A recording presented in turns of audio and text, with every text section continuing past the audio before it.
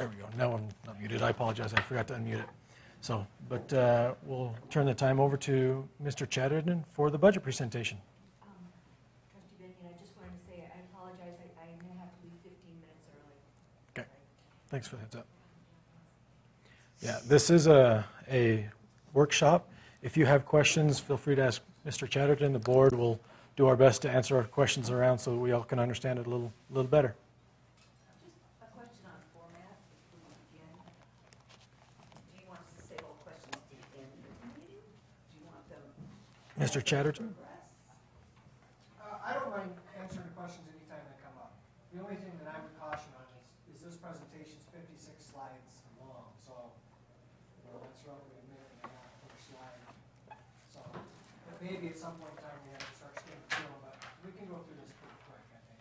Then the next one, if we notice points throughout this that we would like to address at a later time, will it be an opportunity, or is this a one-shot only deal? I think for the presentations, this is a one-shot, but the whole budget will be reviewed through the, uh, once it's presented at the, I believe, May meeting for approval in the June meeting. Yeah, yeah, and and let me kind of step through that process a little bit right now. There, there'll be five presentations and little portions of each one of the general fund budgets, uh, sections. Uh, The full budget will come to the board in May, and the full board will one month to review the budget, and then they'll approve it in June. So anytime between now and when the budget is approved, everything's open for comments and questions and anything that happens. And, and I'd like just to reiterate that these are just, these are just budget requests from the departments. None of it is final, and nothing will be final until we see how it all fits together, and we start putting everything together in middle of May, first part of, or middle of April, first part of May. So will that also be open to the public here, once you put it all together? It will through the public process, through the board meetings, like we have done it in the past all the time, yes.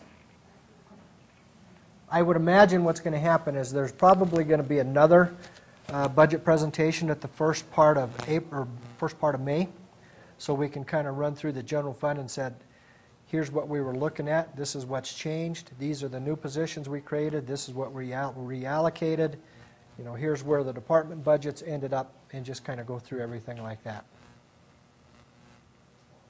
Can you just give, just a, I know we have a lot of slides, but just maybe a one-minute synopsis of our last meeting for those that weren't there? The first meeting that we had was uh, three weeks ago, and it was just, it was, uh, it was all of the new staffing requests that's been asked by the principals and the public for the new schools, or for the schools. And I believe that that list was 20.7 FTEs, uh, amounting to about $1.5 million. Just say what FTE means. It's a full-time equivalency person. So it's like 20 point, a a point seven FT is like about a 70% employee. All of the information, the presentation is on the board, or is on the website, and all of the documentation that the principals sent to me requesting the budgets, those positions are on the website as well. This is already on the website, as well as all of the documentation from all of the department heads requesting their budget. It's all on the website now. Thank you. And you just said, I'm sorry, how many millions for these twenty point seven FTE? Uh, It's about 1.5 million. All right. With that, we'll go ahead and get started. Okay, so this is, no- this is department budget requests for the consideration. This is fiscal year 2014-15, which begins July 1st, 2014. And this is two, part two of a series of five. Okay, the first thing I want to bring everybody's attention to is this is, this, these are very small portions of the overall general fund budget. Today, we're going to talk about the department budgets and the program budgets. Next week, we'll talk about the school budgets and the athletic budgets. But all of those combined equates to about between 14 and 15 percent of the general fund budget. And for example, in fiscal year 2010, with the actual expenditures, that, this group of of uh, budgets that we're talking about represented 16.42%. In 2011-12, it was 14.89. 2012-13, it was 14.48, and this year it's projected at about 14%. So you can see the, the comments that we've made before stating that these department budgets are a small portion of, of the general fund budget. It's, the majority of the general fund budget is all salaries and benefits. And that equates to about 85 to 86 percent of the general fund budget is salaries and benefits for staff that we have. And like I said before, these are, these are just budget requests from the departments. Nothing will be approved until the board actually adopts these in June. And at some point in time, you know, we'll look at how all of these numbers come together and determine whether or not there's funds available in the budget with, uh, to be able to grant these, or if we have to go back to the departments and say we need to cut back, or just how we're going to do that. Okay, we'll start out with the transportation points. And the way, the way this is laid out is I have five years of history in each one of these categories about where their budgets were. Now, these are only budgets, they're not actual expenditures. So what I'm doing is looking at the actual budget requests from each one of these departments at the beginning of the year, not at the end of the year, at the beginning of the years, because sometimes these budget numbers change throughout the course of the year. So I want to be consistent and just look at, at a point in time, the beginning of the year for each one of these. So when we get into the next slides, you'll see each one of the years for the past five years, or the past four years eh, compared to the next year to show some kind of a trend over time. Okay, so to be, start these uh, spreadsheets out, that's going to come later. What I want to do is point out some things that I see in these, the next slides. So for example, in the transportation budget for next year, bus parts has shown a slight increase, and that's because that has been over budget continually for the past three years, and we'll look at that here in a second. Contracted services category includes copier maintenance agreements, bus routing software license renewals, and monthly bus radio communication services.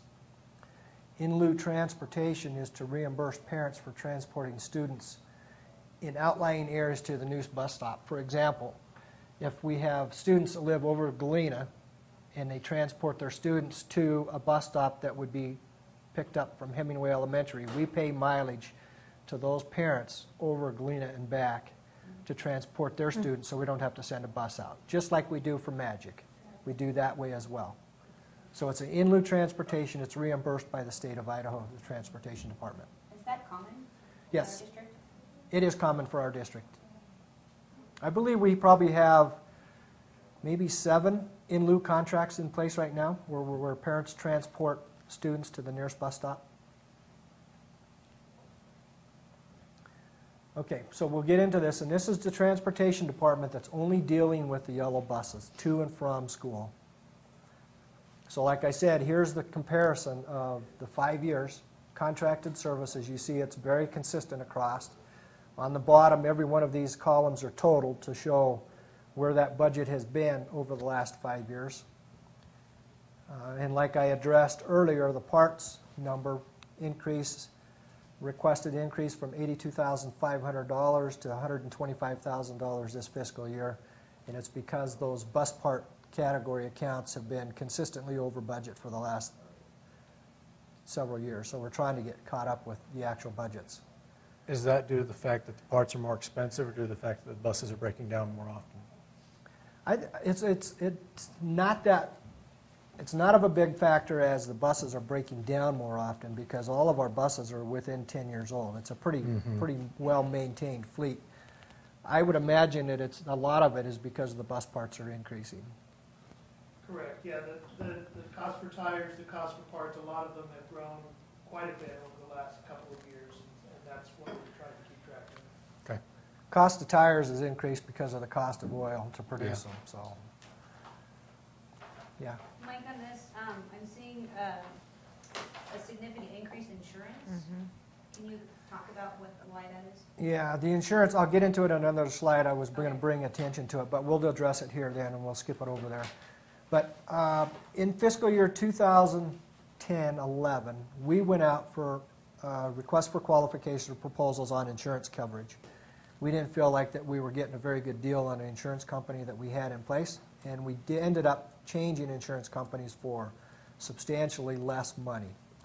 But what you're seeing here is the effects of a couple of major claims that we've had Oh, with the transportation that's affecting the insurance premiums. okay, got it, that makes sense. Can you also describe the difference between contracted services and contract transportation, just real briefly?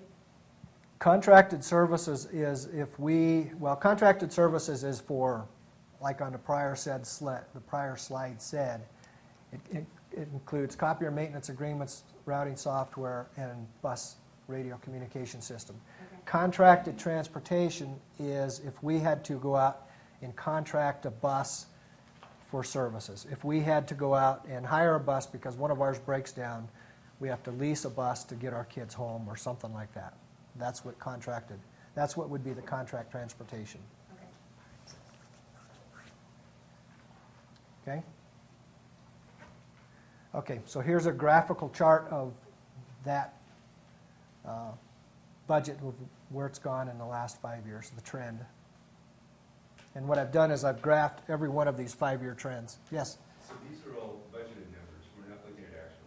We're looking at budget numbers only, not actuals.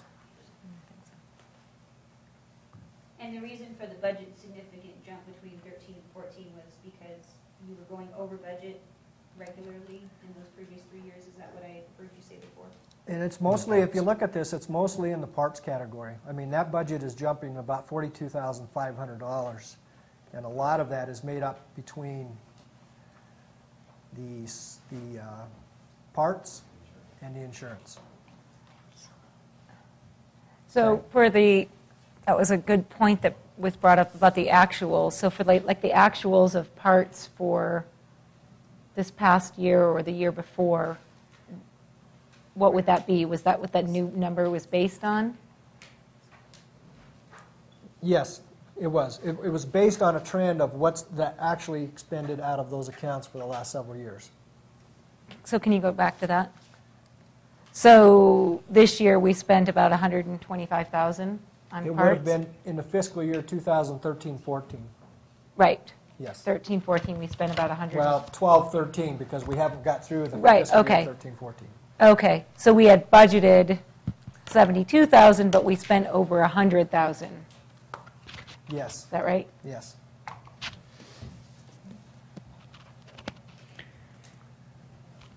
Okay, Can I ask a quick question Sure. about parts, just real quick?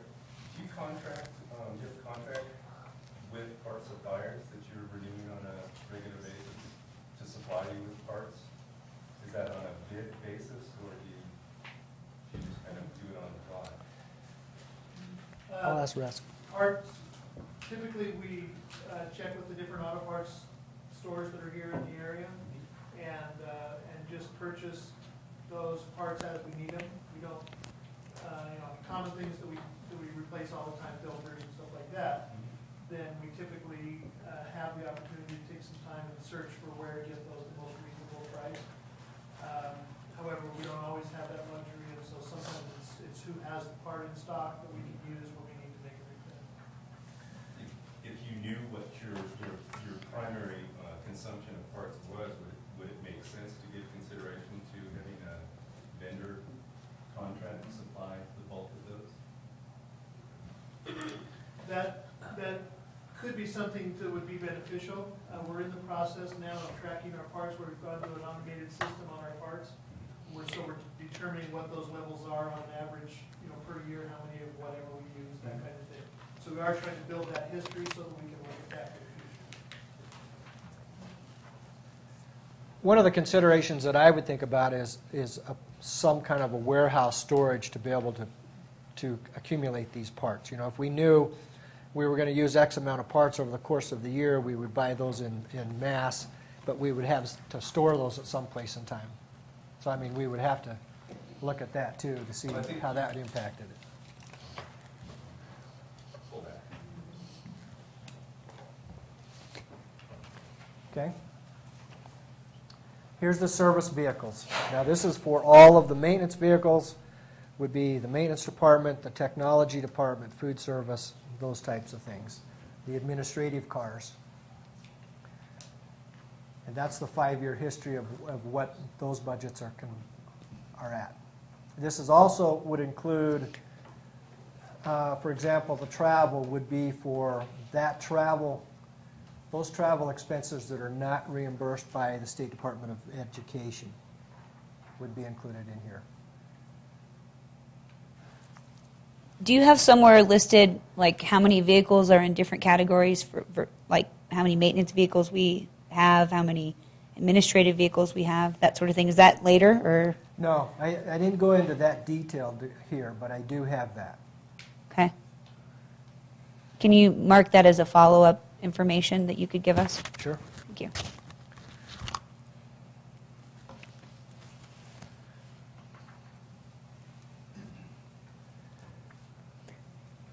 Okay? So, Mike, the uh, jump in insurance, is that the same reason because of the claims? Yes, it is.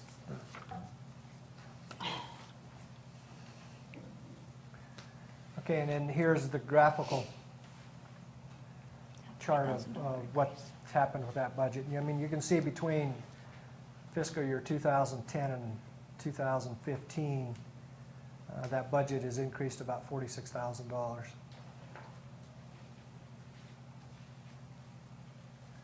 Okay?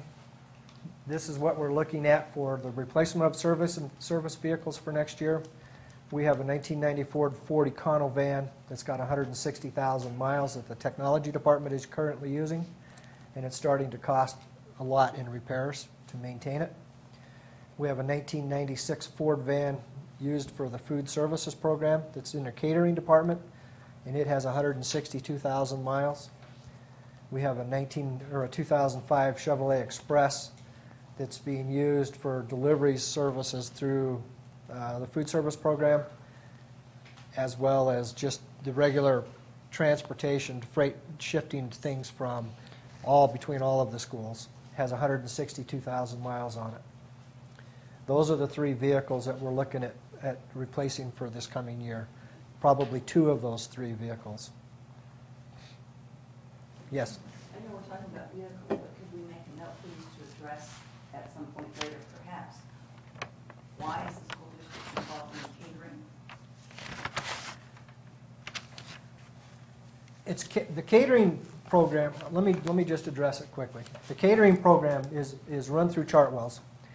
And the money that is made from the catering program through Chartwells offsets a portion of the loss that the food service program generates to the general fund. So if we can subsidize the catering program, if the catering program can make $30,000 in profit, it saves us $30,000 in general fund expenses. Catering to? Uh, It would be catering to parent-teacher organization staffs. It could be catering to College of Southern Idaho for events that they have outside. Could be to Blaine County Rec District through the community campus. It could be to all of our meeting functions that we have with Blaine County School District. Could be to weddings that happen in the summertime. In Yeah. competition with all the local caterers? Not necessarily, no. Most, most of it happens within the school district for things like um, meetings and so forth that take place that, or trainings that take place all day. So if we have people coming in from outside of district to deliver professional development, and it's an all-day deal, um, sometimes we'll do working lunches through those, or breakfasts that are supplied, things like that. Um, eh, Dinners for the board when, when they're working through um, from 4 o'clock all the way through to a regular board meeting. Um, another good example of that is like a textbook committee, when they have uh, teachers as well as people from the public. Those meetings run from like eight until five, and they're working the whole time, and they're working through lunch. So that's another opportunity where then there's catering provided for those, for those committee meetings. So Chartwell's does the catering. Yes. Makes some money on it, turns it around to the district. Yes, Yes. yes. So So it's basi- beneficial for us to cater with our own vendor In-house. in-house, because we're essentially just covering the cost of the food at So if we, minimal if we level. go outside, then we're not supplementing um, our own food service program. So when we spend money with Chartwells, it all comes right back to us. Yeah. So it's kind of a win-win situation. And if I was put a- a- an estimate of the percentages, you know, I believe that the catering, catering probably brings in $80,000 a year total. And I know that 90% of that money comes from CSI, the rec district, and the school district. Yeah. The majority of it. It's very little that's outside. Yeah, Liz. Have you thought in terms of possibly a set aside for this vehicle through the profitability of the catering operation so that it could be encompassed that way? Six, You know, in my mind, in, it's, it's the same. I mean, if you have revenues that offset the loss in the food service program and you're buying a vehicle for the food service program, in my mind, it washes out. Because it still comes back to the general fund. it's all, And I don't know if this goes in, in this part that you're talking about vehicles, so it just came up in my mind. So I know that Dr. Barber used to have a vehicle, and I'm not sure what other vehicles there are, but I think that's, um, unusual for the state of Idaho. And I'm wondering, first of all, what happened to his car? And then, I have it. you have it, and then what happened to your car? It's over at uh, the uh, Transportation Department. Okay, meaning our transportation department? Yep. Okay, Yep. My so, so, and I think, you know, um, when I called around the state, I think we're the only school district to provide, uh, vehicles, cars to our, to our admin. And I think that is on a symbolic basis, we should think about how that um, appears um, when we have, you know, a s- a a fraction of the student population of other districts. So I just want to put that out there. yeah. So no other, no other districts supply uh, transportation for their uh, superintendent? No, not Okay. Don, not anything. He- So I can drive my own vehicle and build a district for the mileage? Well, that's what I was just going to add in, was Yeah, have we done a cost analysis of mileage reimbursement? Because given the geographic layout of our district being Carey to Ketchum, mileage-wise is how many, Sean? From my house to work is 45 miles. 45 miles, and so if you're having a superintendent that's expected to be visiting schools with that geographic Sure. distance, would the mileage make, is that a better deal, or is owning a car a better deal? Has that Well, ever been done before? I before? actually had that conversation with Mike a couple of years ago, Uh-huh. um, in looking at that, because if I drive my own vehicle, then I can put in for the mileage at the mileage rate, Right, um, which could actually be profitable for me. right, Um, If I'm willing to put the own mile, the miles on my vehicle, I could actually pocket more cash. So it was one of those things where we were looking at, you know, what, where is that cutoff point? And uh, quite honestly, it's, it's pretty close to a wash. But I, you know, like when I'm going to Boise for Day on the Hill, right, or um, if I'm going to Twin for the Superintendent Region Force conferences, yeah. um, things like that, um, then, you know, those are $200 trips if I'm going to Boise in just mileage reimbursement on my, on my vehicle, so. Yeah, I- I just want to say, just as a, as a, um, uh, not even so much symbolic thing, but I think, I think it's a, it's a really important um, accountability um, issue to be able to say, you know, I, I, I accounted for the miles here, here, here, here, and it's, and it's, and it's, it's clear to the public. I think that it would make a lot of sense to go, especially since we're an outlier in this area. Um, the other thing is, I know that, you know, the community is, people in the community are aware that, you know, there were brand-new vehicles bought after just a few years, and I think that that's more the mentality of your predecessor, maybe, and not, it's part of the change in philosophy, maybe. And some of, some of the older vehicles, uh, like the, the first vehicle that I was, that I was driving as the assistant superintendent is now a driver's ed car. So they, they tend to move through the fleet. And so um, I- that car didn't have a, a lot of miles on it, probably around 60,000, and it went straight into the driver's ed program, and so they kind of worked their way down. Um, And they're part of that fleet. So as Pat just asked, at some point, there's going to be a complete itemized list of every vehicle and its use? Well, he, I believe I've already provided Yeah. that to you a few months ago, yeah. Yeah. So I, I know I Yeah. provided that. I thought it existed, I just was curious to be able to see Yeah, I that again. remember you asking for it Yeah. last year. You know, and to be- really be truthful, I, thi- there's only a few cars that administrators drive, and it's only the administrators that do a lot of traveling within the district within the day. There's a lot of administrators that do not have vehicles. Let's hope so. So those administrators that don't have vehicles are taking the mileage? Yes, Yes, because it doesn't warrant the cost of a vehicle.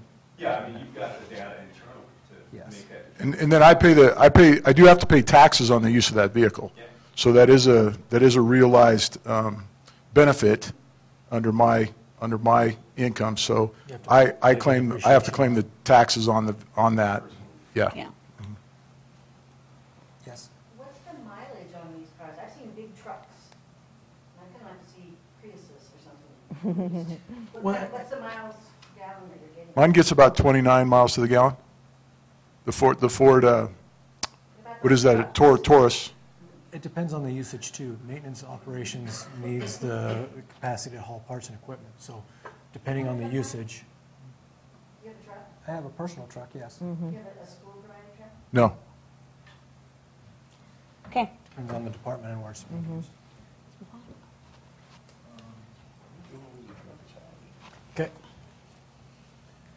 Okay? Points of interest, we're going to get into the maintenance department budget here. We have, uh, we, if you look at the next screen, you're going to see that we've, we have a- over a $300,000 in, or decrease over the past five years in utility costs throughout the buildings. We have an insurance decrease.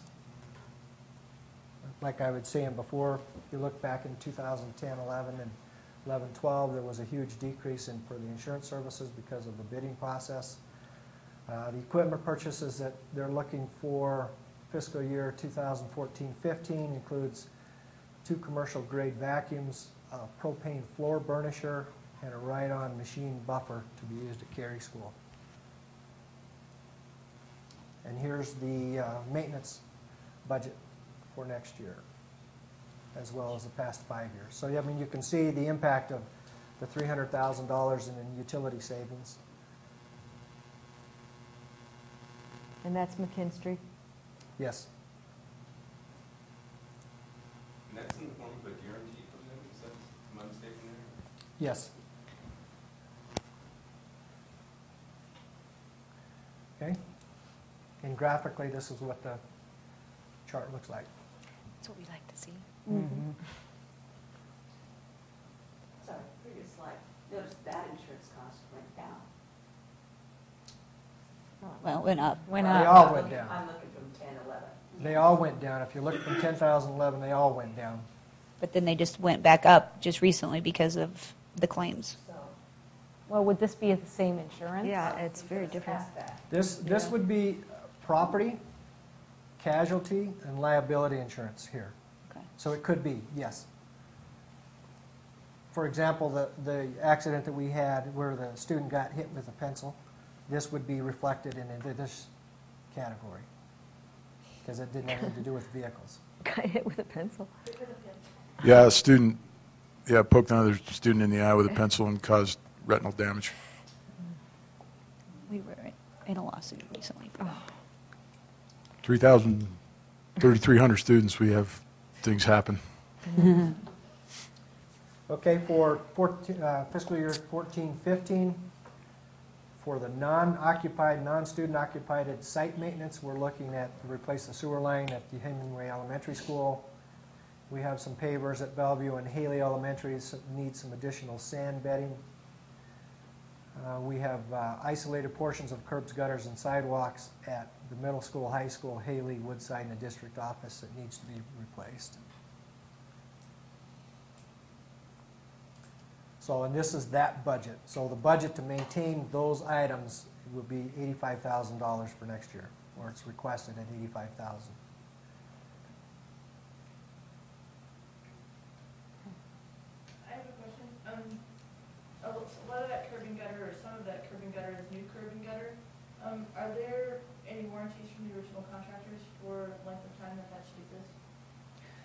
Typically, it's only a one-year warranty on that type of stuff.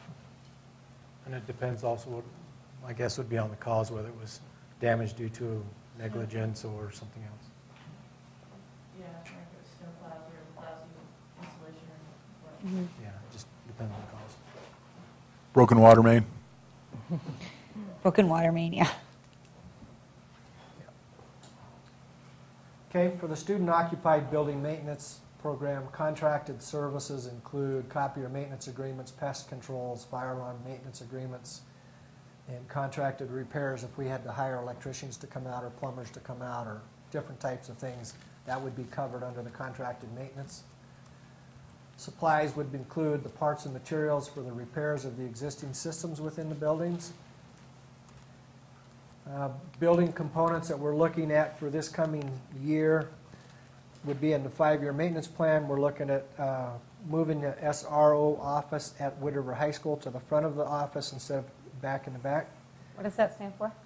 The school resource officer, Which is what? The police officer. the police officer. The ar- the armed officers in the building. Okay? They're looking at doing, uh, including a door into the counseling area at Wood River High School. We're looking at some roof repairs at Bellevue Elementary School. We're looking at Carey Art Room to refloor the art room in Carey. We're looking for high-temperature sensors in the freezers and the walk-in coolers, so if a compressor goes out, it'll send out an alarm to Howie, so we don't have uh, food that gets spoiled. Uh, And from what, also I put in here for a complete list of the five-year maintenance plan, look at the district website under the finance department, because you'll see a very comprehensive list of things that- that we believe need to be taken over, taken care of over the next five years. And this is just a small portion of those items that need to be done. And it would be all done all of that list of items, some of it would be included in the school plant facility fund, but the majority of it will not be. It would be dependent on the general fund at this point in time. Yes, So I'm assuming those top items listed, copier maintenance, pest control, fire alarm, et cetera, all go out to bid? the pest control, yes. The fire alarm, uh, no, because there's only one fire alarm maintenance company here in town, Sentinel. Uh, The copier, Sorry, how often are these done, fire alarm maintenance? Annually. So is it possible to entertain a bid from someone outside of that? Well, there, there are multiple entities. We have the company that comes in, and does what they call an FPA seventy-two, and they go through and assess the whole building, and they're not Sentinel. Sentinel does the monitoring, but they also do other components for us also. So there's probably three different companies that actually are involved with all of the systems at at different, different levels. But so none of that is put out to bid? Well, Sentinel monitors twenty-four seven, so they've always used Sentinel, and they'll call, they'll always call us until they find somebody. They don't send out a text, they don't send out an email, so they have somebody sent in front monitor all the time. So we feel that that's pretty important for all the systems that we have. And no other company really does that? Nothing at all. There is a new one. But that's my question. I have Has experience with them at work, and put it's- all these things out to bid to find out Alarm Star? if we're getting the lowest. Alarm price? Star? I don't know that there's another company in town. I've not been solicited by anybody else to provide the services. But maybe we should be soliciting bids. There is another company outside of Sentinel in the valley. Um, Sun Valley Company's been using them. Um, Personally, I have not been impressed by their service and the change that we receive from Sentinel as compared to what we're receiving now at Sun Valley They are Company. new, like within the last year or two. Um, They've been at Sun Valley Company for the last three years, I believe. Mike, how come, uh, these issues wouldn't come out of the maintenance levy? I'm just wondering how come this would come out of the general fund and not the maintenance levy? Because they're annual because this is all uh, maintenance agreement type services. All of the levy is new construction type or repairs of existing buildings. Okay, thank you. And just really quick, one last question. I'm, I'm getting confused where we stand with the um, SRO officers in the district. How many, we, where were, you know? We have what- one, we have one officer that, that we currently fund, one position that we fund through Hailey Police Department. So that position's been in the district a long time. Back when I was a teacher, that was Dennis Haynes. He was the retired uh, sheriff here in town, and he was the first SRO at the high school in the old building, which is now the community campus. So that was always a, a, a district position. Then we moved it to an actual police officer um, with Manny Ornalis at the high school when I was the VP there and contracted with um, Hailey PD. Um, We wanted full um, control of that position to make sure that they were at our uh, discretion as opposed to the police department's discretion. So we pay the salary through Hailey PD. They're not a Blaine County District employee. He's actually employed by um, Hailey PD, but we contract with Hailey PD for that service. The SRO at the middle school was provided to us through the sheriff's department um, on a grant 12 years ago through PAL and DARE programming. And so that's been soft money. The sheriff's department has always maintained that position full-time at the middle school, so that is not a Blaine County position, and we do not fund it. So currently, due to cuts that they've experienced, they've had to pull that position back and, and are using it more in a patrol capacity. Um, And they did come to me and talk to me, but it's not, it's not our position. We don't control the, the, um, the salary, we don't control, we don't pay for any of that service, so it's really their position and where they choose to put it. So Gene Ramsey pulled that back. We're in, in currently in talks with them on how we can restore that, or what we can do, or what partnerships we can, can uh, align with to try and return that um, security to the middle school. But right now, Chad Schurmeyer, Officer Schurmeyer, is employed by the sheriff's office. They've pulled him off of that post to serve in a different capacity. Um, Hailey PD has stepped in and given us some additional hours from their officers to cover in the meantime while we're trying to get this figured out. But if the school district wanted to replace Chad, that would be at our cost, which was not in the budget prior. So that's, that's something up for, Thanks for explaining that because it was Discussion. muddy for me. yeah. So, John, sorry, just quickly, the school resource officer who is in high school, Mhm. Yes, yes. He's a, he's a, a- an officer of the Hailey Police Department. And does Idaho state law allow anyone else to be armed, administrators or teachers? No. Not on public school property. It has to be a, an armed officer. I'm just a little bit confused when they, when you said that because he's an employee of the school district, correct? No, he's actually an employee of the Hailey Police Department. But he's subject to the. Our assignment. Your assignment. So the rules, he's, We control his schedule, and his payroll is run through Hailey Police Department. gotcha, and then you're just reimbursing. Yes, Okay. yep. But in terms of the rules that he's dealing with are subject to what Blaine County School District deems appropriate. Yes. But if there's a law broken, he's also an officer. So, So um, it's a little bit of a moving target. yeah, that- and that's how most school districts deal with SROs. A lot of them, some big school districts actually have their own police departments. So like if you go to Orange County in Florida, they actually employ 25 officers, cars, guns, the whole nine yards, but they're actually employed by the school district and they have their own police department. So um, we contract, like a lot of school districts, with a police department in our jurisdiction, just like Boise School District does. Um, So he's an, he's an officer of Hailey PD.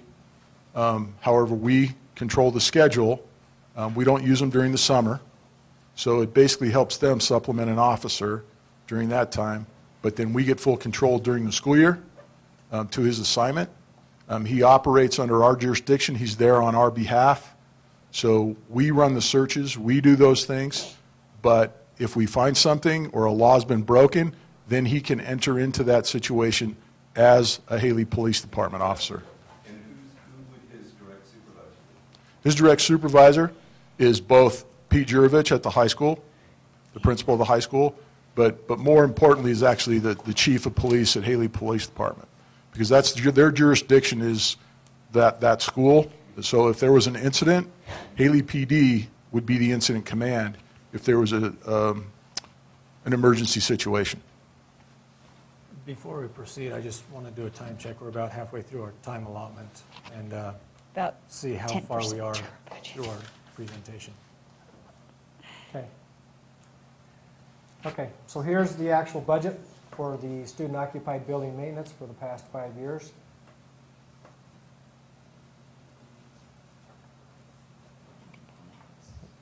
This is what it looks like graphically. What are building components? Yeah, I was just going to Can you Uh, go back building- to the, Can you go back one slide? Yep. Building components would be uh, the five-year maintenance plan. You know, we talked about the site improvements. The five-year maintenance plan would be the building components, like the inside remodeling of the high school, the SRO co- office coming out, cutting the doorway in, those types of things would all be under the building components. And what's the travel budget for? The travel budget would be for uh, maintenance, the maintenance crews if they're going out for out-of-district travel, or Mr. Royal if he's going out-of-district travel, or if they have, they wouldn't have in-district mileage, but mostly it's for out-of-district registration for conferences that they're going to, or trainings that they're going to, or certifications that they have to receive. Okay.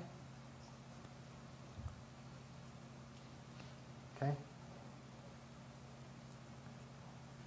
Okay, the grounds budget. Now, this is for all of the landscaping, snow removal type stuff. So the landscaping budget, you'll see on the next slide where it has been increased this year, and it's because it- it's been continually overspent for the past several years. We were at the point where we were having uh, principals and coaches and other type of people calling the landscaping company and telling them to do an extra mowing for a soccer game or a football game or a baseball game or, you know, any types of those things. Uh, and he was doing that and charging the school district. So we've got that all under control now to where they're only allotted one mowing per week. They can schedule that mowing whenever they feel like they need it the most. And anything additional from that would come out of their own athletic budgets of those schools that are requesting it. We're not saying you can't do it. We're just saying if you want that and they do that and they charge you for it, then it's coming out of your budget to try to eliminate that. Okay? And that's kind of what uh, this comment here is in reference to. The controls that we put in place on who's going to, who's going to be authorized to make those additional mowings and repairs. You know, we had a lot of issues with uh, organizations and groups and student groups going out and planting trees someplace, and it always had a conflict with the existing sprinkler system. So then we would have to redesign the sprinkler system and move sprinklers around so it didn't damage the trees or the sheds or things like that, and it was just costing additional money to do that. So we're trying to get all of that back under control. Okay, and we've set up some clear, clear guidelines on the role of the landscape company during the summertime, and also the role of our student labor employees that we hire through the summertime for the grounds department. There's some things that they do very well, the grounds crew, the small, the students, and there's some things that they do not do real well, like bed maintenance and those types of things. They don't do that very well. They just, they don't like to do that. So what, what we ended up happening last year was, is before uh, graduation and before, you know, the start of new school, we had to hire the landscaping company to come in and maintain those beds and fix all of that stuff to where the appearance was nice. So this year, what we did is we only assigned the duties for those grounds crew students on tasks that we felt like that they could complete, like weed whacking, you know, the native areas and things like that. Everything else, we've uh, said that Clearwater is going to maintain for us. And just as a point of clarification, do we bid that every year? Or is it a three-year contract, and how is that handled? Typically, it's a five-year contract because those contracts are so expensive to maintain. Those contractors want some assurance that they're going to have it year after year. But we do, uh, we do have escape clauses or out clauses on an annual basis. So we- even if we did sign a five-year agreement with a landscaping contractor, we would always have that out every year. Okay. If they weren't performing the way we felt they just should be. The equipment that they're looking at purchasing this coming year is a new tool cat with a snow blower attachment. That's the, the, the big drivable snow removal equipment, Does the whites sidewalks. sidewalks and those types of things. And then they're also looking at a walk-behind snowblower. They, they replace about one of those every year for the schools. Do those, does that toolcat is that supposed to zoom around to all the schools on a snow day, or how does that work? Yeah. Yeah. Yep. It's, it's a small tractor, that's a six-foot snow And now, yeah, now what are you using? Beg your same, same Okay. type of equipment. Okay, We and have- it's just old Yeah, and, we, we currently have two of those, I think we have two, two of those toolcats, three of those toolcats. So you were talking about a contract with Clearwater. I thought you mentioned they did snow removal. No? They do parking lots, not grounds, not the Parking sidewalks. lots, Not sidewalks. Grounds, sidewalks, et cetera, are done in-house. Yes. Okay? So here's, here's our budgets for the past five years on the grounds department. The snow removal has been pretty consistent. We've had a pretty good year on snow removal. We didn't spend nearly that whole budget. The landscaping, you can see the landscaping jump from the last couple of years, but it's been consistent that we've been spending anywhere from three hundred and thirty to three hundred and eighty thousand dollars. We've actually signed, uh, we've actually have contracts for the coming year with, with Clearwater not to exceed those dollar amounts. And any kind of an additional mowings or requests from those other staff members or principals or schools will be charged back to the school so we can monitor that. Oh, So this is all primarily lawn mowing? Uh, It's lawn mowing, sprinkler repairs, uh, monitoring of the sprinkler systems, uh, cleaning of the beds, maintaining, it's maintaining all outside of the buildings. Top dressing for athletic fields, um, weed control. Is all of this standard lawn that requires a lot of water and a lot of fertilizer and insecticides and all of that stuff? My question is, has anybody ever thought about doing something different? Um, a- Actually, one of the reasons we saw a big increase there is we, we tried to go more organic and use clove oil on a lot of our weeds, which then encroached upon some of our facilities like tracks and so forth, which caused uh, irreparable damage that we had to go in and, and redo. So um, I can tell you that a lot of those natural uh, ways of, of, that are non-invasive um, also are more expensive. So, I mean, there's, there's a lot you got to weigh out when you're looking at doing things necessarily different that you think are better. There can be some serious costs that accompany that. I was just thinking about natural grasses, drought tolerant plantings, all those sorts of things that Mm-hmm. over the long run would cut down on all the maintenance. Barbara, a lot of the green space that are around our schools are playgrounds at the elementary levels um, for the kids as well as athletic fields. And so we're talking soccer fields and baseball fields and soc and football. And so that green space is very important for those activities and for those, for the kids to play on. Oh, or was talking, I'm just talking about maybe a different type of grass Oh, that didn't Yeah. require There, extensive there water. are native areas around the, the end of the field, that native grass. You water it up and then you knock it down and you leave it behind Woodside, up at the stadium at the high school, and along the ditch in front of the high school. There's So there's all some. kinds of areas. And, and we do, we don't use, you know, invasive chemicals on play areas. I mean, that's something that we keep off of the actual play areas. But those surrounding areas that encroach upon some of those areas, um, that's where we run into trouble because even though you're using clove oil on the, on the play surface, Right. those, those noxious weeds can, or any other weeds can, they, they slowly encroach upon that. And so if you don't keep them out there, then you're re- trying to repair later, um, and it can, they can do a lot of damage pretty quick. It's pretty amazing. When I was talking to Matt and looking at our grounds and going around and seeing the encroachment of some of those um, weed issues that were coming from outside the playing fields but are now encroaching on those play areas, um, then how do you get them out of there once they take over? So. There, you know, there are additional ways you could do that instead of a broadcast fertilizer. You can have the, the guys carry a backpack type fertilizer, but the cost of, of labor to apply the fertilizer that way instead of a broadcast all at once with a tractor was about an additional sixty thousand dollars a year for that kind of an application instead of a broadcast. So we did look at all of those things. You've even looked at goats. I mean, they we're use not, in we're, not Jamaica. oppo- we're not opposed to thinking outside the box. Yeah, I think it's great. they use goats in Jamaica. Okay. Okay, we're moving into the technology budget.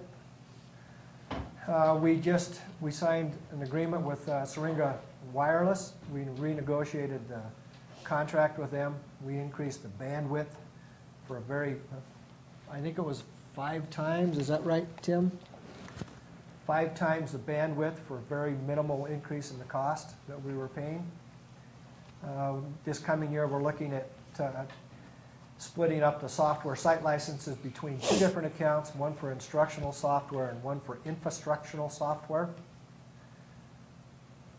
Uh, The site license account has been continually over budget for the past several years. So what we want to do is start monitoring those uh, licenses to where we can get a good handle on what we're actually utilizing and what we're not utilizing, so we can eliminate some things that, that we're not utilizing, or there's a better software that we have in-house that will replace it. Those are the kind of things that we're talking about. Uh, we, we purchase three new copiers every year and have every school on a rotation basis where they get a new copier every three years. Those copiers that they have existing in the building, what they do is they have them refurbished and they use them for backup or a second copier in the buildings. And for example, when the district office or the technology department or Silver Creek Alternative School that doesn't do a lot of volume on their copiers, we'll fur- refurbish it and we'll put it in another department, like the maintenance or the community campus or you know, one of the other, bus shop, one of those facilities. Yeah, So I don't, I don't know anything about copiers, but is that pretty common to, you know, get new ones every three years? Do they break down easily, or is that the reason for that, that they start breaking down, or? After, after three years, at the high school, after three years, that copier will have 800,000 copies on it. Mm-hmm. And it'll get very close to the useful life on those. I mean, we could lease them, but we're not going to save any money leasing them because of the cost per copy on a lease is, is very expensive compared to the cost per purchase. So is that how it works? The, the life of a copier is about how many copies it makes? Typically 1.3 to 1.5 million copies. And, and what we do is we cover these copiers on a maintenance agreement, on copier maintenance agreements where it covers all of the cost of the repairs of those copiers over a three-year period of time. And the only thing we pay is for paper, paper and staples. Everything else is covered under the maintenance agreement. And those maintenance agreements cost are about six tenths, six point five tenths of one cent per copy. So it's less than a cent. Is that to the local firm? No. It's out of Twin Falls. Yeah. Has it ever been bid? So we're pushing Yes. It based on. We look at that every year. Could, could you explain to me the third item on that list? The site licenses regarding? Yeah. Um, I, I'm just a little confused by. Last year, what we did is we took part of the site license budget from the general fund and pushed it over to the plant facility fund to- for those maintain, when we were maintaining security types of programs and those things that were being paid for out of the school plant facilities fund. This year, we've shifted that all back to the general fund. And when you talk about the site license account, you're talking about Blaine County, all the schools operating under one account, correct? One, considered one site, One site license account. correct? No, not necessarily one site, because we do have sites In That encompasses Blaine County everybody. is, the individual schools are each considered individual sites? No, Okay. not necessarily. Only if they had a, a separate software license agreement that, that nobody other schools did, they would be. Mhm. But typically, we have license agreements that covers the entire district. Okay. So for example, at the high school and- and the- in the alternative school, we use Novanet, which is a, a credit recovery um, license, sure, but that is specific to the high school and, and the alternative school. So some are site specific to the school, some are district wide. And if they're district wide and they're, you know, for software that's being used throughout the state, is there any option of being able to group in with the entire state under a site licensing agreement? No.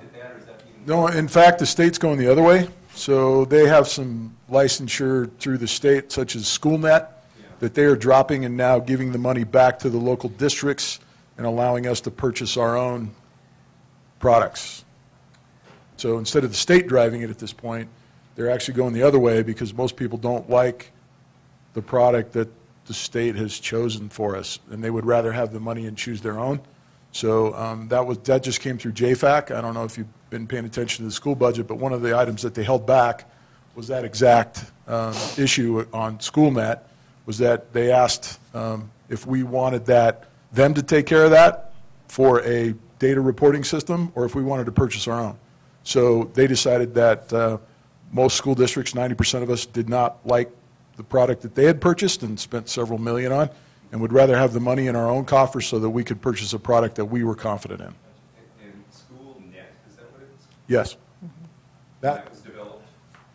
Uh, that was developed by a company that, the- I'm not sure which company developed that? Pearson. Pearson. So the Pearson developed that, and the state purchased that for all schools. Um, But most schools decided to spend their own money on different programs, even though they got it free from the state. That's how confident they were in it. The good news is, we're going to get the money back to purchase our own. Which we don't have to purchase. Okay? So this is what the budgets look like for the technology department in the past five years.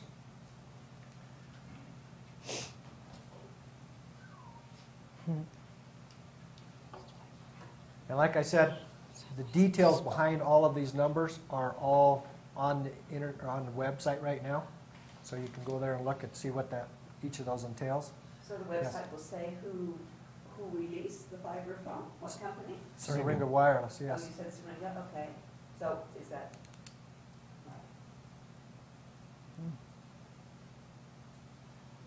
And you stated that the site license increase was because of the, how it was being budgeted before it was in the levy, and now it's being put back in the M and O budget? Yes.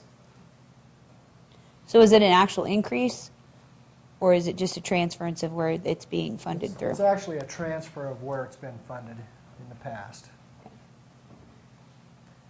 But, the- you know, the more software license, or software that we purchase, that we get within the district, like, for example, if we, if we decided to start purchasing textbook software instead of the actual textbooks, Mhm. these numbers are gonna actually increase, and we have, and we have. Yeah. so, like you, s- I see copiers expense is the same year after year, but that does not include the maintenance agreements you just spoke about. That is correct. That's the That's actual, Just buying new copiers. yes. That would be in the purchase services, Um, that maintenance agreement. I would like to question whether that's really necessary. That many copiers. The copiers? dollars every year. That's three copiers. I, I know, and you just talked about, anyway, it might be something that could be thought about. We could lease them and pay the same amount, and it would be covered under purchase services. No, I'm just talking about maybe making them last a little bit longer. You know, we typically have run those copiers for seven or eight years before we actually get rid of them, before they, they're just, they're just completely thrown away. Because we always rotate, after the first three years, you, we refurbish and rotate it back in for an additional three years. And then after six years, depending on the quality of the copier, it would be pushed back down to one of the departments or s- another department that doesn't utilize them as much. And the equipment has nothing there for this year, so Because all of the equipment budget Is in coming out of this year is coming out of the plant facility levy, why is that? because that's what the taxpayers voted on when they passed the levy. But that wasn't the case the last two years? Hmm.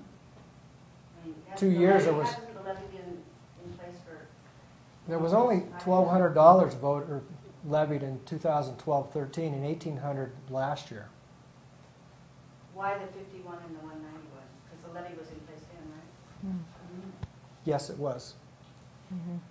So why, Because the fifty-one thousand, actually, the fifty thousand dollars is a portion of that. We used to have some technology money that we put out to the schools. And it was always on a per pupil basis to give access to technology money to the schools, and we had a fifty thousand dollar budget. It was based on a per student basis. And we shifted that money from the general fund to the school plant facility fund between those two years as well as, if you look in 2010, 11, we did the same thing there, because originally it was $100,000, and we shifted 50 one year and 50 the next year. so your, your tech equipment falls under the school plant facilities levy, technology purchases Yes. this year? Right. Um, Well, and in the last couple of years, year. too. Last few Yeah. years, yes. Right. Yeah. Yeah, and I think just philosophically, it gets confusing because people are seeing a, an expense for technology that's gone on and then all of a sudden was switched into the, to the levy, but it was not, it was a regular cost of business expense. And I think that the way people thought about the levy was that this was something that would pay for new stuff. It wasn't, um, It was new stuff. it- yeah, Well, it it is wasn't, stuff. You no, look but at it, but the I'm, I'm saying. For all the high school students in, in Carey, the, the one-to-one pilots that they're iPads. doing at the high school, the Yeah. technology that, the additional technology that's been able to come in through that plant facilities levy. So- That would not have been available with that current. So when I, budget and, uh, so I guess, yeah, and I, I hear, I, I understand what you're saying, but when I, I, I understand what you're saying too. So you, there's these numbers that are going up and down wildly from 2010 to 2015. And for example, it went in the opposite way for, um, uh, for equipment, but then, than it did for the site licenses. And what I'm not understanding is why that was. If, if the, if the plant facilities levy is passed and we're started to reap the, the, the money coming in, why, why are those going up so much in the site li, site licenses and then down so much um, on the equipment?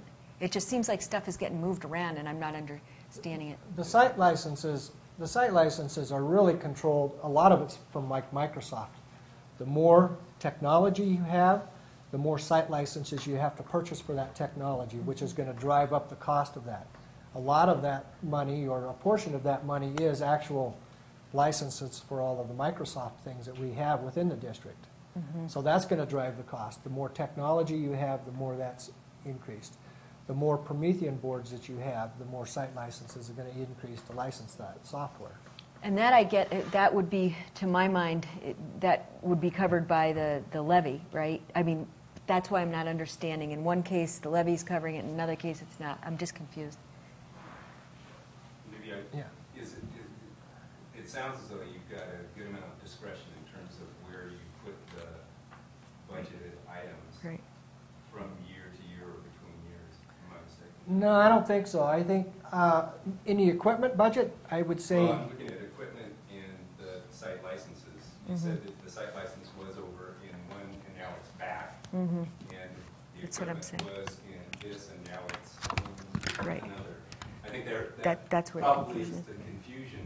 Yeah. I'm wondering if it's discretionary on your part as far as where you are able to allocate those dollars. Yeah, good.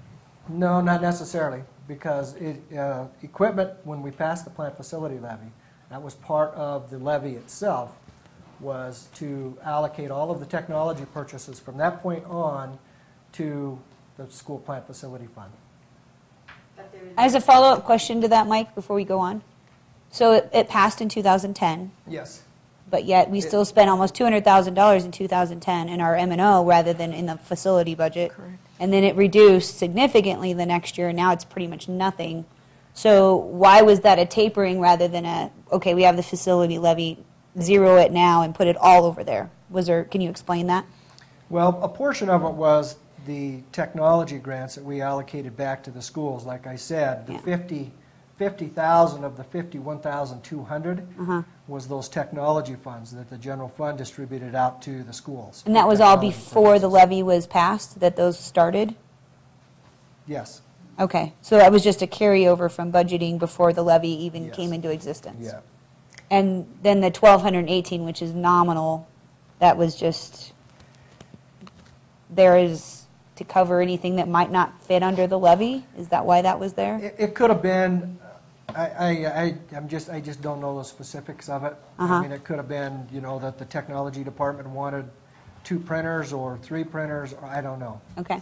And then why did we move the site license portion from the plant? Did you say we moved that from the being paid out of the plant facility back into the M and O? Or is that just compensating for the, how much it went over budget in previous years? It, it's, a- it's a combination of both of those. Okay, Last year, in order to keep the general fund at the, at the target we wanted to maintain as the budget increase, okay, we shifted some of those expenditures from the site licenses back to the school plant facility fund. okay. And that may be what you were referring to, Kirk, as far as some discretion between those two. Okay, keep If you going. look at past year's history on how much has been spent on those site licenses, it's been pretty consistent that it's been substantially over the 250 to 270 range. And it will be again this year. I mean, those, the numbers that Tim has budgeted for the site license there are his projections of what those amounts are going to cost next year. That's not to say that we won't do that again mm-hmm. when we get into May, when we start looking at the cost of what this whole budget looks like. We may make that decision to shift some of those monies back, but right now, it's in the general fund. Okay, so we have that discretion. Can I ask Tim a question really quick? What kind of auditing do you do to verify the validity of a site license when you go to renew it, as far as the usefulness of that license? Well, that's something that I'm happy to say that we're taking a a closer look at right now. Um, We, we, uh, Angie's Health Reform Committee, and we've already met four times this year. We're, we're looking more deeply at that, trying to understand how well the software that we're purchasing is being used in the classroom and how effective that is in terms of student outcome. Okay, A lot of times, buildings will come and they'll say that they need this software, and then we're digging a little deeper to see, are they actually using it? So they said they needed it, they came, they wanted the budget, they wanted it budgeted, they wanted it purchased, but are we getting the bang for the buck? And that's, that's a question that, that we've been asking and we're looking into. So we want to make sure that we're getting the bang out of those dollars, and if we're not, then we want to reevaluate whether we want to continue those licenses. Just Yeah, Liz? Yeah, just really, uh, so, um, uh, so how much did we spend on technology from to the beginning of the levy, 2010 to now? I'm just trying to see, you know, we've gone from, You remember that number that I- we were talking about two, a couple weeks ago? Was it, In terms of how much, we- how much was the entire technology budget in, say, 2010? Is that- is that- now how much Yes. we've How spent to date? yeah, Oh, the entire, entire technology budget was about uh, $9.8 million Over the last period of time, or one year? for the 10 years. That's how much was allotted. That was allotted for the levy. No, 10 I- million was allotted, but you're asking how Yeah. much of that 10 million has been spent correct. thus far? Oh, okay, that, that question. I think it was like, Did you say, I want to say 5.2? I think, I think it was right around $5 million. Right. So what we also have to look at is, how much have we spent now? What- And we're four years into the levy, we have six years left. And how much do we have left? And how much are we going to allocate per year and trying to hit those targets to Right. where We don't go a over. lot of this stuff was front-loaded, the technology. Yeah, and I think that we're all, you know, realizing that technology has a huge part to play in our kids' education, but sometimes when you flood a whole bunch of money into an area and you, it wasn't, and I, I, I got the, I, the, the impression that it wasn't um, very well thought out, that amount. I just want to make sure that we're not spending money, um, and then it comes back to haunt us in terms of repair of equipment and that kind of thing, because sometimes a flood of money can create more, more damage than, and cause more damage than um, solve problems. So that's, that's where I've been leery of a lot of this, and I'm really glad that you're looking into the site licenses. That's a, I mean, that's an obvious thing that just has exploded. Um, And then the entire budget has exploded, and I know you don't have extra, you have, you're down on employees, so I think a lot of the hardware is languishing. And I just want to make sure, this was a huge, huge bottom line number that we've spent in the last five years. I just want to really, really be careful not to just spend what's in the budget because it's there. Angie had her hand raised next. Okay. Um, Mike, I wanted to say, one of the things that I think is not clear by looking at these numbers because of that ability to shift the cost or the expense of site licenses or equipment or other things between our M and the plant facility is what was the total technology budget if you were to not have it in M and O, or in mm-hmm. plant facility and you put it all together, how much were we spending? And has that gone up? Has it been pretty flatline? Has it gone down? Were there special purchases that were made that because we ob- obtained the levy, that would be kind of outside of normal operating uh, costs Yes. for technology? Right. And that's not really clear by this, and so maybe that's something that we could do as a follow-up. Did Yeah. the To levy clarify, I think that's our kinda what you were Yeah, asking, did- isn't Did it? the levy, is the levy draining some of our money off of, you know, Yeah. the uh, M and O? I mean, I think the, the levy has given us the funny way. ability to buy purchases that we wouldn't have been able to afford before, as well as maybe, you know, we've got that ability because of that, those funds, but it's still not clear to me ha- what's the real budget as far as the standard operating technology costs. Does that make sense, what I just said? Yeah. Um, Can you clarify something for me? What?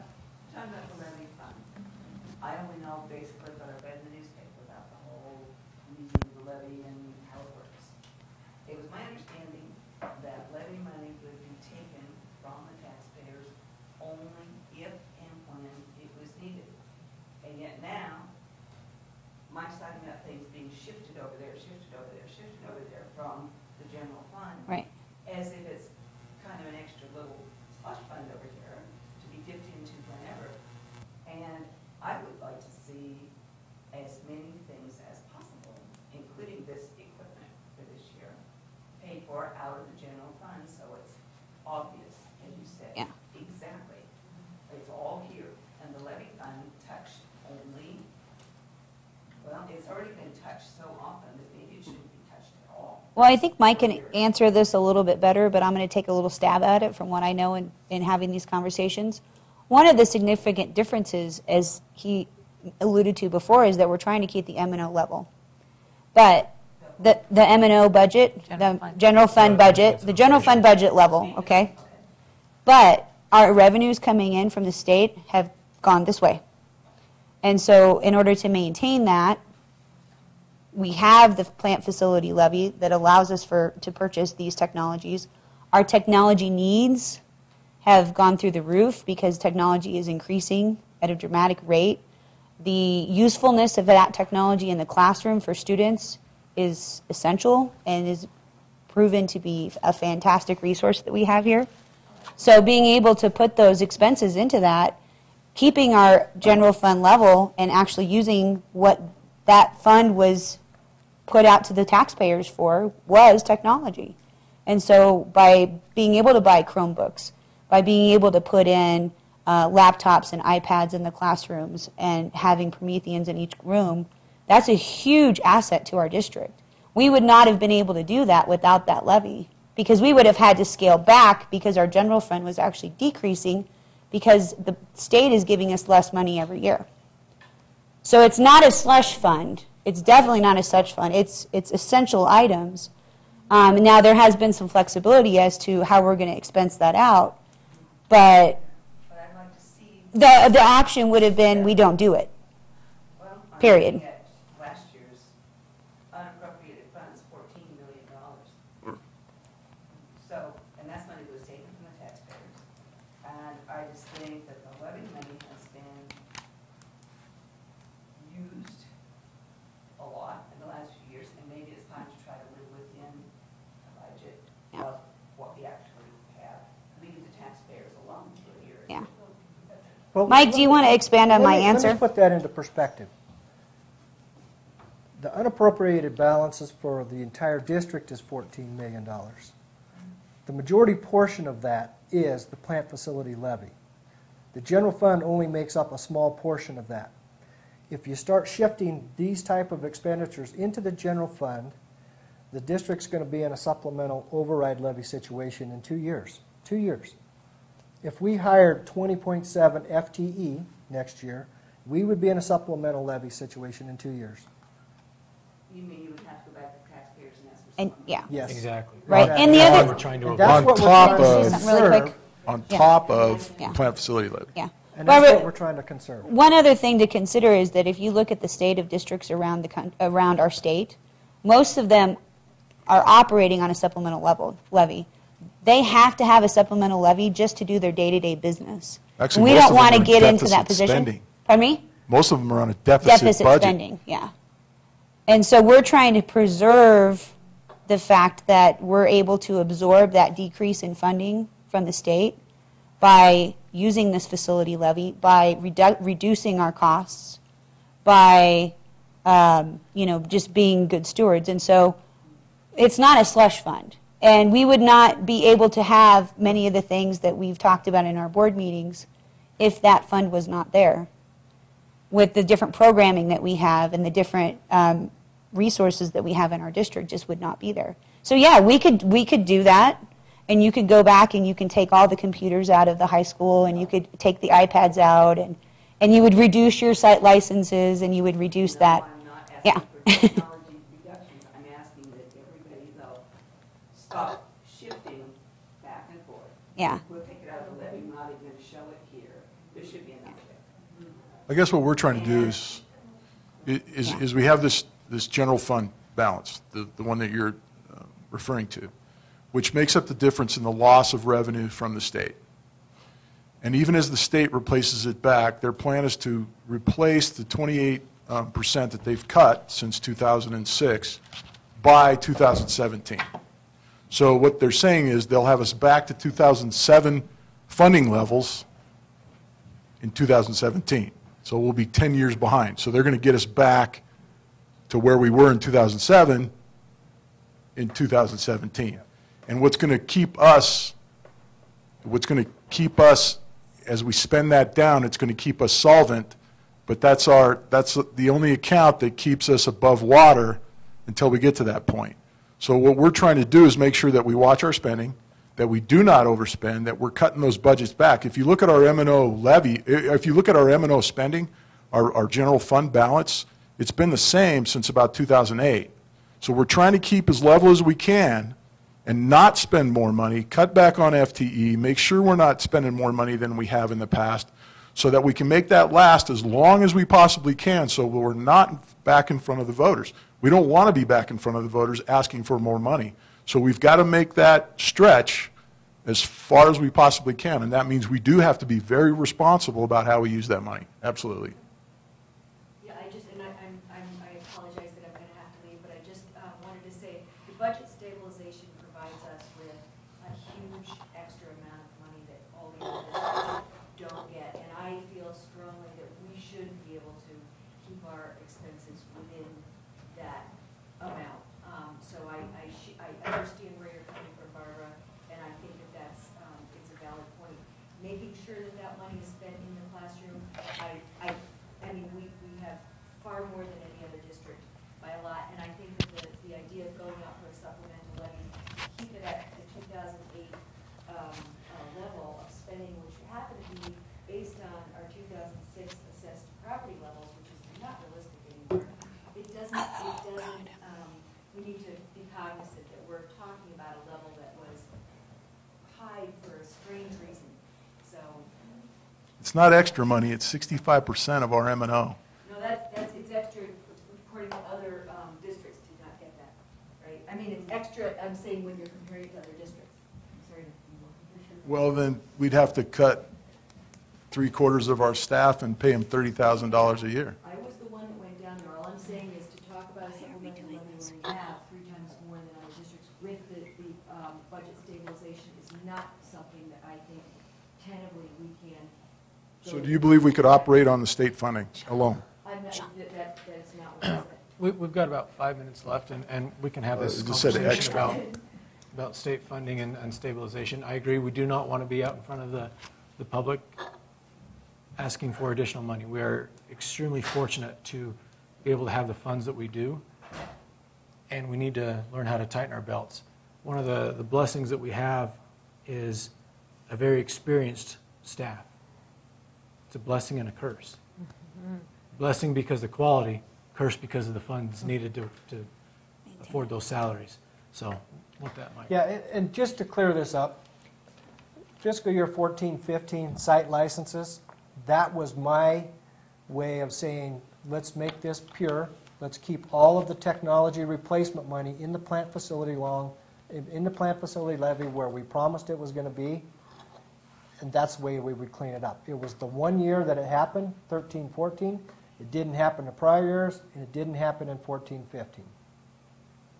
So that's my way of saying, general fund, this is probably your responsibility, let's maintain it. Great. Thank you, Mike. Okay? So here's the expenditures on that for the. Okay, we're going to get into the individual departments here. So here's the curriculum department. I think we can go through these a little quicker. So you can see the department budgets, the curriculum department budget has pretty, been pretty stable the last five years.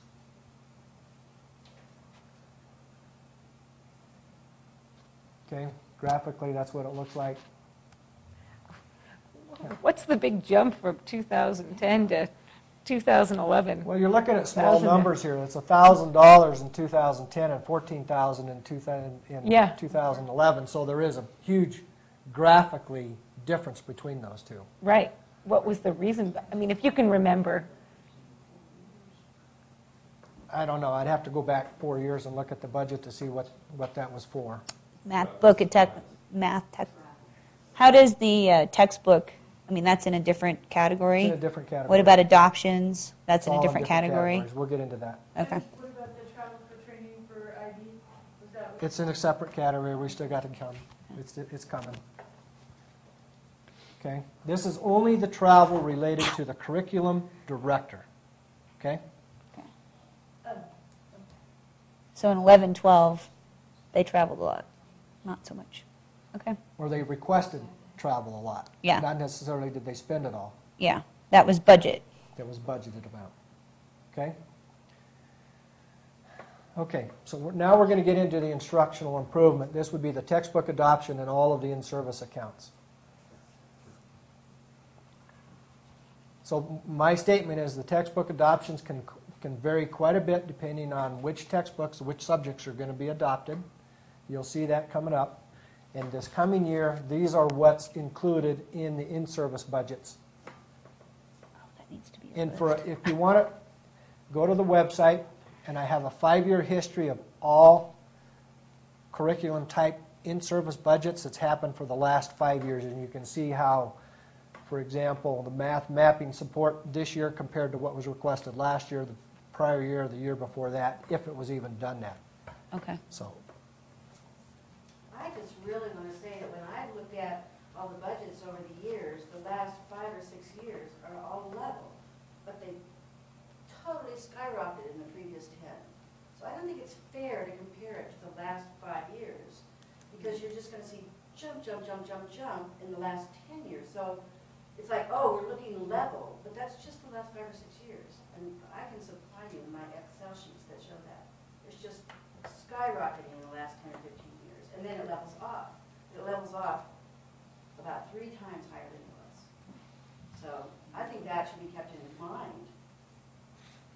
you know, at that point in time, we were adding 12 to 15 positions a year, trying to keep up with The growth of the parent district. demand that there was being placed on the school district. And the majority of those increases in those budgets was staff-related. 85% of the budget is staff-related. Well, I noticed that, that, that incline was in every single department except for Silver Creek. It's the only one that didn't incre- increase. The others increased like 200, 300%. And I guarantee you, it's all, it's all staff and No, benefits. it's, it's, it's all the programs, it's administration, it's landscaping, it's, it's not just staff at all. It's every single line item. But I have it Staff, all out in Excel sheets. And how does Staff is- coordinate with enrollment numbers? Enrollment's been pretty steady for the last five years. But before that, it was increasing?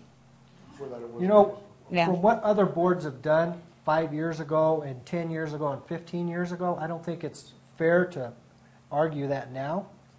No, I'm just. Well, just to compare what we could be spending, because if we spent half ten years ago that we're spending now, the fact that it's level the last four years isn't full information. There, there's a lot more programs. I mean, That's, I mean, I mean, you look at what we've done, Students. Yeah. you look at what we've done as a district. I mean, if you'd, if you'd have seen last month's presentation, you would have seen that we were 188 positions over what the state funds us for. 188 positions, that accounts for $15 million. Now, if we were going to get rid of that, you would be looking at 40 kids in a classroom. I don't, You, I'm sorry. you would be looking at no PE teachers, no music, no art. Fear mongering. I don't believe it, Mike. I don't believe it. I'm gonna get those Excel sheets out and I'll Okay. give them to the board. Let's go ahead and do this, but. Yeah. but, uh, If you look at fifteen years ago and the number of students and the money spent and compare it to now, not just past five years, but 15, the number of students and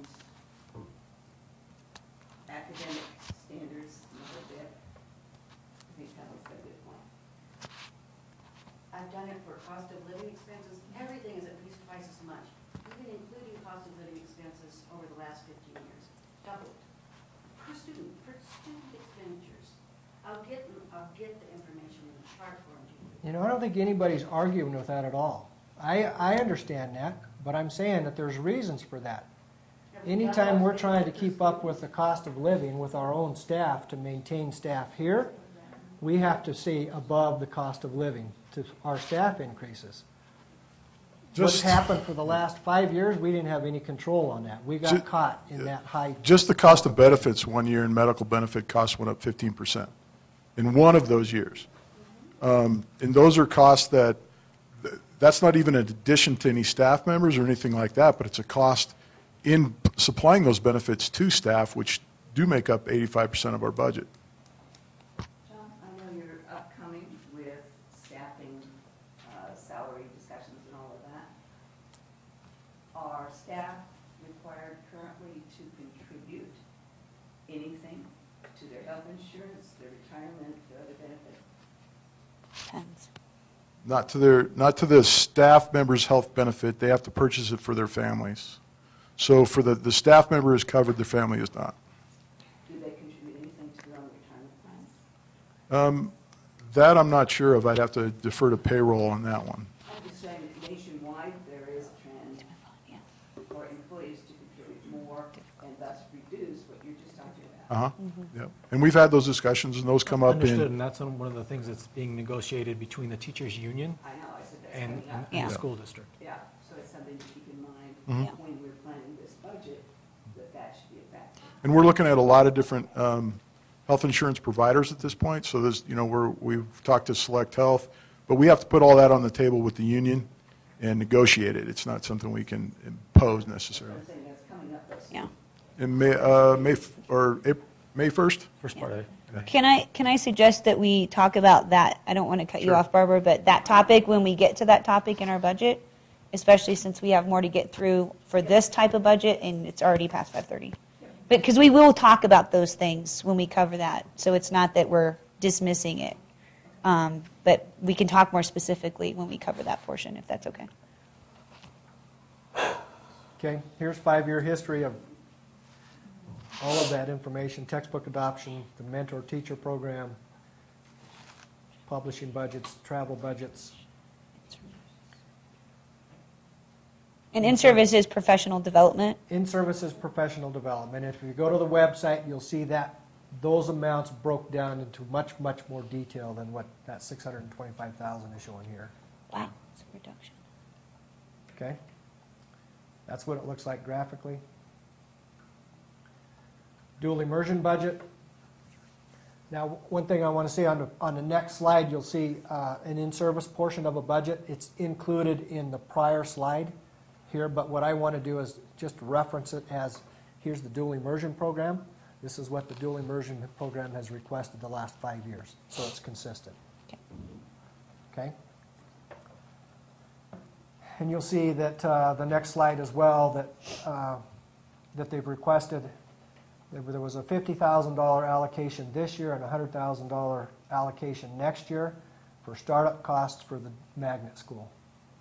And a lot of that money is getting paid for library materials and instructional supplies in, in Spanish. Yeah, that was my main question for the startup costs for the $100,000, but Are, are a lot of those, maybe Molly, you can elaborate on this, because a lot of rooms are just getting moved? Are there additional rooms and materials that are needed for that? Or I'm just curious what, what is included in those? Desks and tables and whatnot will come, will move with teachers. Uh-huh. And move from school to school. Uh-huh, Um, the fifty thousand dollars that you see there for thirteen fourteen is all going to library materials. Um, there was only ten percent of the library at Woodside available in Spanish. And so the fifty thousand dollars has allowed us to increase it to about twenty-eight percent. Mm-hmm, Um, obviously, the ultimate goal would be to have 50/50 equal mix. numbers of books in Spanish and English because the focus, students will be learning in both languages, all of their content. Um, and so about half of the hundred thousand dollars next year will go toward library Mhm. materials and Mhm. Spanish. Um, and just- then the rest of, Uh, The some money- of that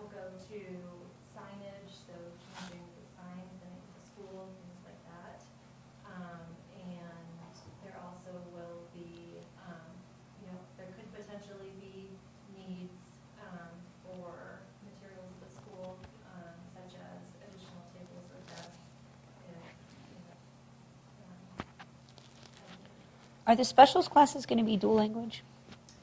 Specials will still be in English. Mhm. Um, through attrition, retirement, or as teachers move out over the years, we do hope to eventually. Make them dual language. Specials offered in Spanish. And then the schools like Bellevue and Hailey that housed a DI program and had a, a small library of Spanish books, will those be moving to the magnet school? Will they stay? We talked about that. Um, we actually decided that those materials will stay because there still will be populations of English language learning students there. Mhm. That makes sense. who could benefit from these abilities. Great. That was my question. Oh, thanks. Good question, Pen. For, for the detail of what's involved in that hundred thousand dollar number, if you go to the website, It'll be there. that's there. Okay, thank you. All of the detail behind these numbers are all on the website. Okay? Here's the IB program. Again, the in-service budget that's on the next slide is also included in the in-service budget for the total district-wide. I just want to make sure that that's clear. I- What I want to do is just make sure that these numbers are comparable throughout the years.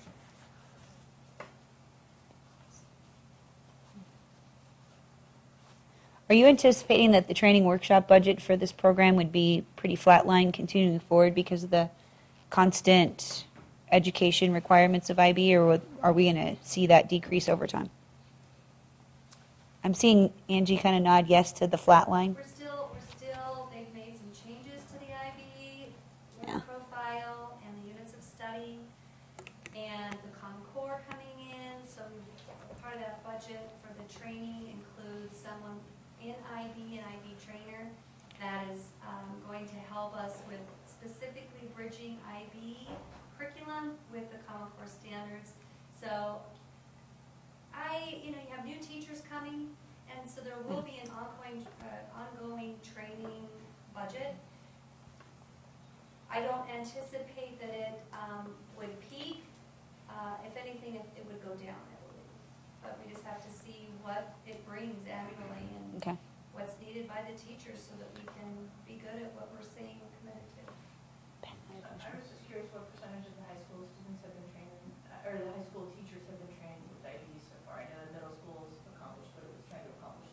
I didn't know how far you've gotten into high school training. It's, it's been quite expansive, and actually as a part of the authorization visit, we, uh, uh, comparatively to other school districts that have been, au- or schools that have been authorized, um, a high pro- proportion of our students have been trained. I don't have an Teachers. exact Teachers. percentage of which teachers have received the training, but I know it's high comparatively, so, um, on, on the first year training.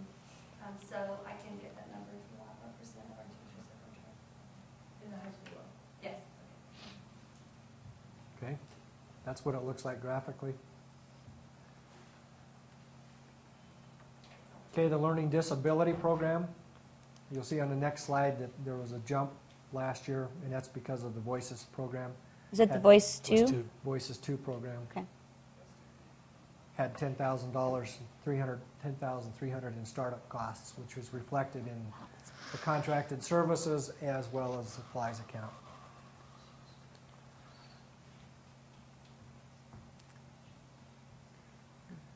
And that's what it looks graphically.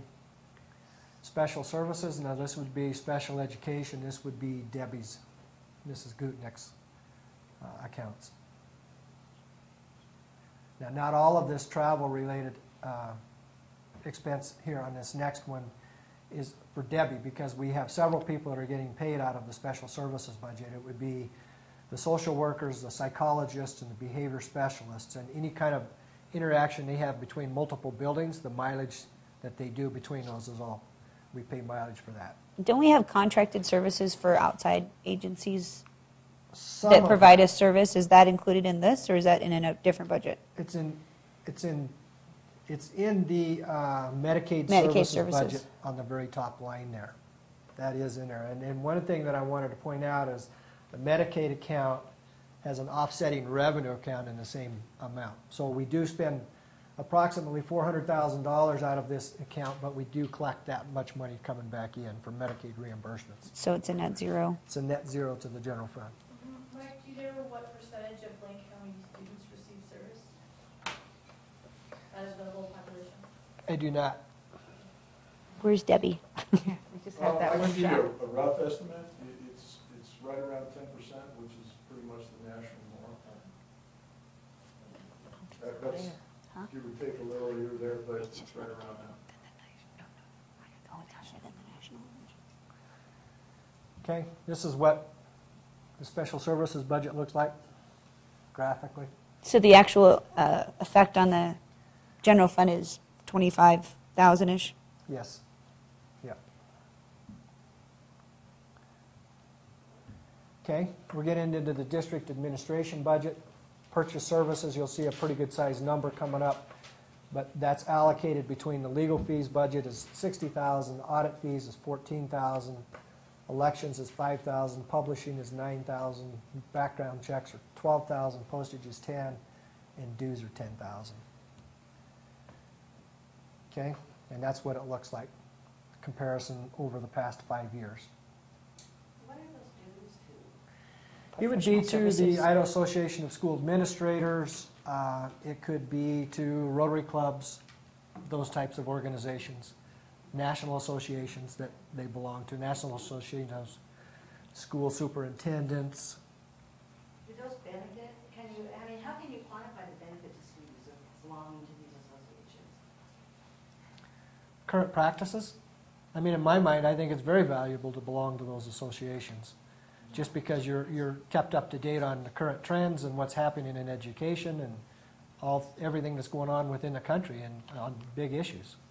You know, my membership with the Superintendent's Association, um, that's the group that, through which we lobby and, and uh, put pressure on our legislatures um, to fund student education and, That's on campus? exactly. How effective was that law? Exactly. Well, that, that was, that was for the colleges, but, you know, sometimes legislatures will pretend to listen and do whatever they want to do, but um, we do, we do get together, we do, we also talk about education within our region. So in Region Four, we, we, we also share some um, resources, so if we're going to bring in some training, a lot of times, um, I can take people down to Twin, and we, we pool our resources in order to provide those trainings. So we talk about relevant issues in education and what's in front of us. And I, um, I'm probably in Twin, I'm there next week, as a matter of fact, at the, at the superintendent's conference. And there's a little over 20 superintendents in our region, and the legislatures, our local legislatures, come down there and talk to us quite often. And our, our relationships with CSI, we meet on their campus. So, yeah, it, it creates a, um, a close-knit group around So it's not the issues. annual, can you actually No, it's, together a lot? yeah, it's, it's, I think it's bi-monthly that, that I meet down there with the superintendents. Yeah. Just in, how many people are in, in the administration program in, in this district? Would be for, uh, it would be the superintendent and the assistant superintendent and the board clerk would be out of that category.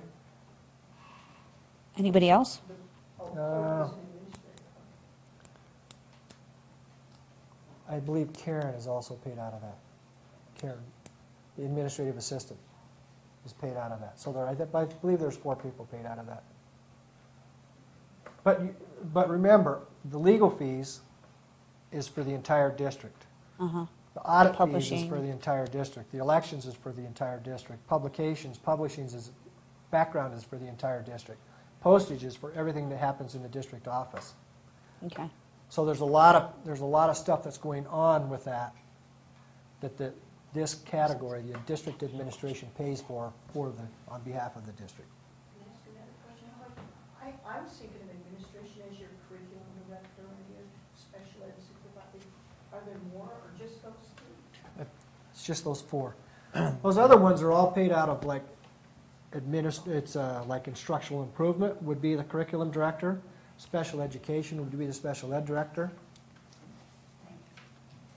Catherine? So Mike, can you go back, or to the, yeah, great.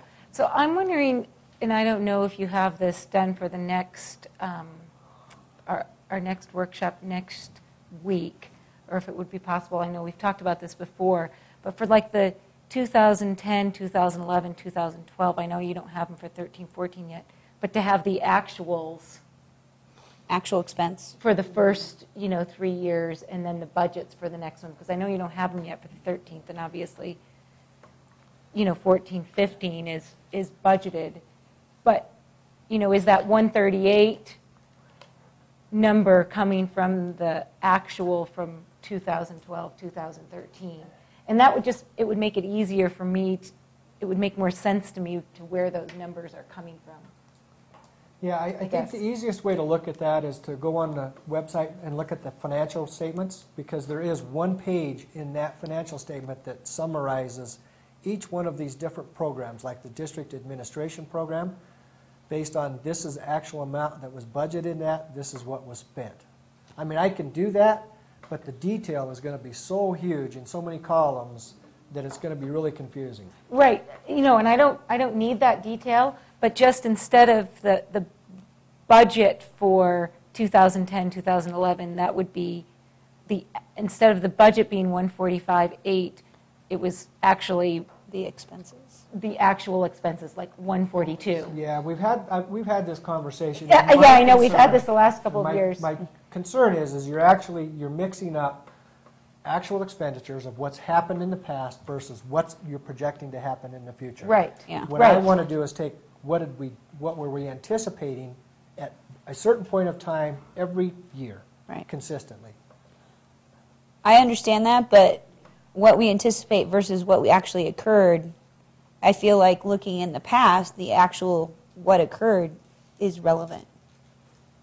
Um, because in 2010, we, we might have said, yeah, we expected 155,800, but we spent 120. And, or maybe we spent 170. And looking at the trend as far as the expenditures um, would be helpful. And if it's not something that's put in this presentation, you said that it's on the website, would that be something that you could print out so that we could at least go, okay, that was our budget, our expenditures were this, we're, we're tracking well, so that we know that that 150 makes sense based on previous expenditures and anticipated expenses coming forth? Yeah, I mean, it, it's definitely something I could do. Uh-huh. It's going to take some time to put Yeah, together. if you can't incorporate it into a presentation, if you already have the presentation done, I think having that document that you referred to, even just in paper for us to refer to, would be helpful. Just to know that, because even though it mixes it, it, like in my head, it, it follows a sequence, actual, actual, actual, budget. Because that, it somehow follows my line of thinking, it's, okay, that's what we spent that year, that was. That it's a reasonable- Yeah, and then, that's why it makes sense to do the 2014, 2015 budget. And I understand that you probably already have the presentation done for next week, so I think just having something on paper to refer to would be sufficient. If we could do For- that. For these? For those, numbers? pre- the three years, yeah. Okay. If you're going to print them to the board, would you mind printing a few extra copies for members of the public? Sure. And if you have any questions about what we're trying to ask, we can follow can up with talk that later. later. I, I think what you're asking for is what were the actual expenditures in FY 210, 211, Yes, yes. 11, 12, 12, 13? Compared to budgeted amounts, so we can compared to the budget compare amounts. those two things. And, I mean, I don't need all the details about what was underneath there, and, you know. summary A summary, I guess. I'm just looking for that number, what was for the, spent, each program. the actual amount. Yeah, Or even the, the total, the total, right. even the total actual amount. What was spent on the admin program for 2010, 2011. And then the Instead of the actual- breakdown by category, because some of those had like 10 categories, and so it would be very cumbersome to Well- review. Right, I mean, if you look at, like, the maintenance, some of those have hundreds of categories. Right, under each right, one, so like just you that Right, said. so just the total amount. total, the to total compare amount. program differences, or make those program comparisons. Okay. I was thinking the same thing. The business operations budget, now this would include the business department and the human resources department. The travel-related expenditures are for, a lot of it's for mileage or in-state type travel, to go to conferences or meetings or, you know, between buildings, those types of things. Supplies accounts, purchases of district letterhead, envelopes, district office supplies, copy paper, business forms for the district.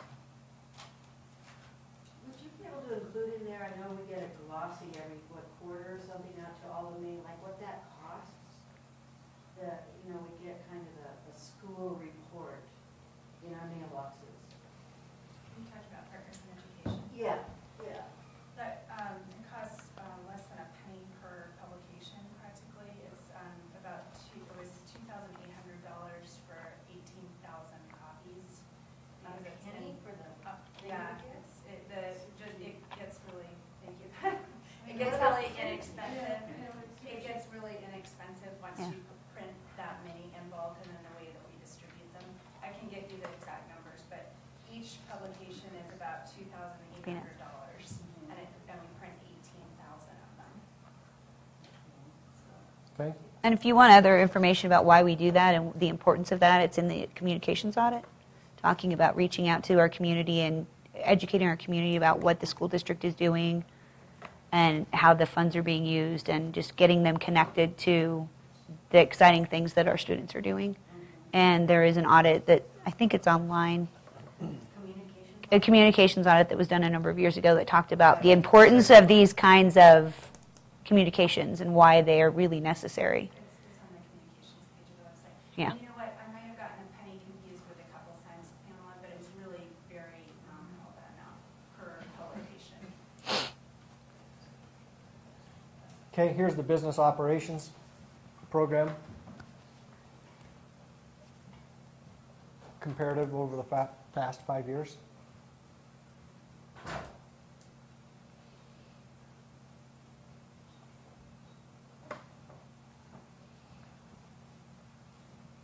And that's what it looks like graphically. Okay, we're into the communications department budget. The publishing, on, you're going to see on the next slide, it includes all of the permanent and portable signage for the different types of events that we have, the budget publication guides, partners in education publications, advertising for the events, weekly updates, the Weekly Sun student sponsor updates, honor rolls, those types of things.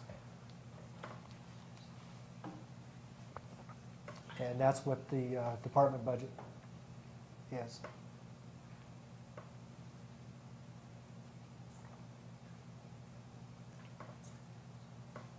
Where does web, excuse me, where does website maintenance come into that?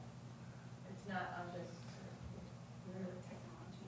It comes out of the technology. So communication comes into the technology budget and that's the communication. That was part of the, the software site licenses line item. Okay. It's a um, government E-rate that the technology department gets for a lot of the- the services, and so it goes through technology. Okay, that's what it looks like graphically. Okay, we'll get into the Board of Education. The Board of Trustees, this is what their department looks like. Dues pays for the National School Boards Association and the Idaho School Boards Association dues. And the supplies accounts pays for longevity, longevity service awards, board-related supplies, and sympathy-related expenses for the district. Okay, and that's what the budget looks like for the board over the past five years. Why did our insurance go so cheap? Do we know? It- It went down a lot. Probably because of the lack of claims that's been against the board. You know? Thing. Good. Barbara, you looked at me funny when he said that. No, I, it's not going. I'm just teasing you. Okay, and that's what that looks like graphically.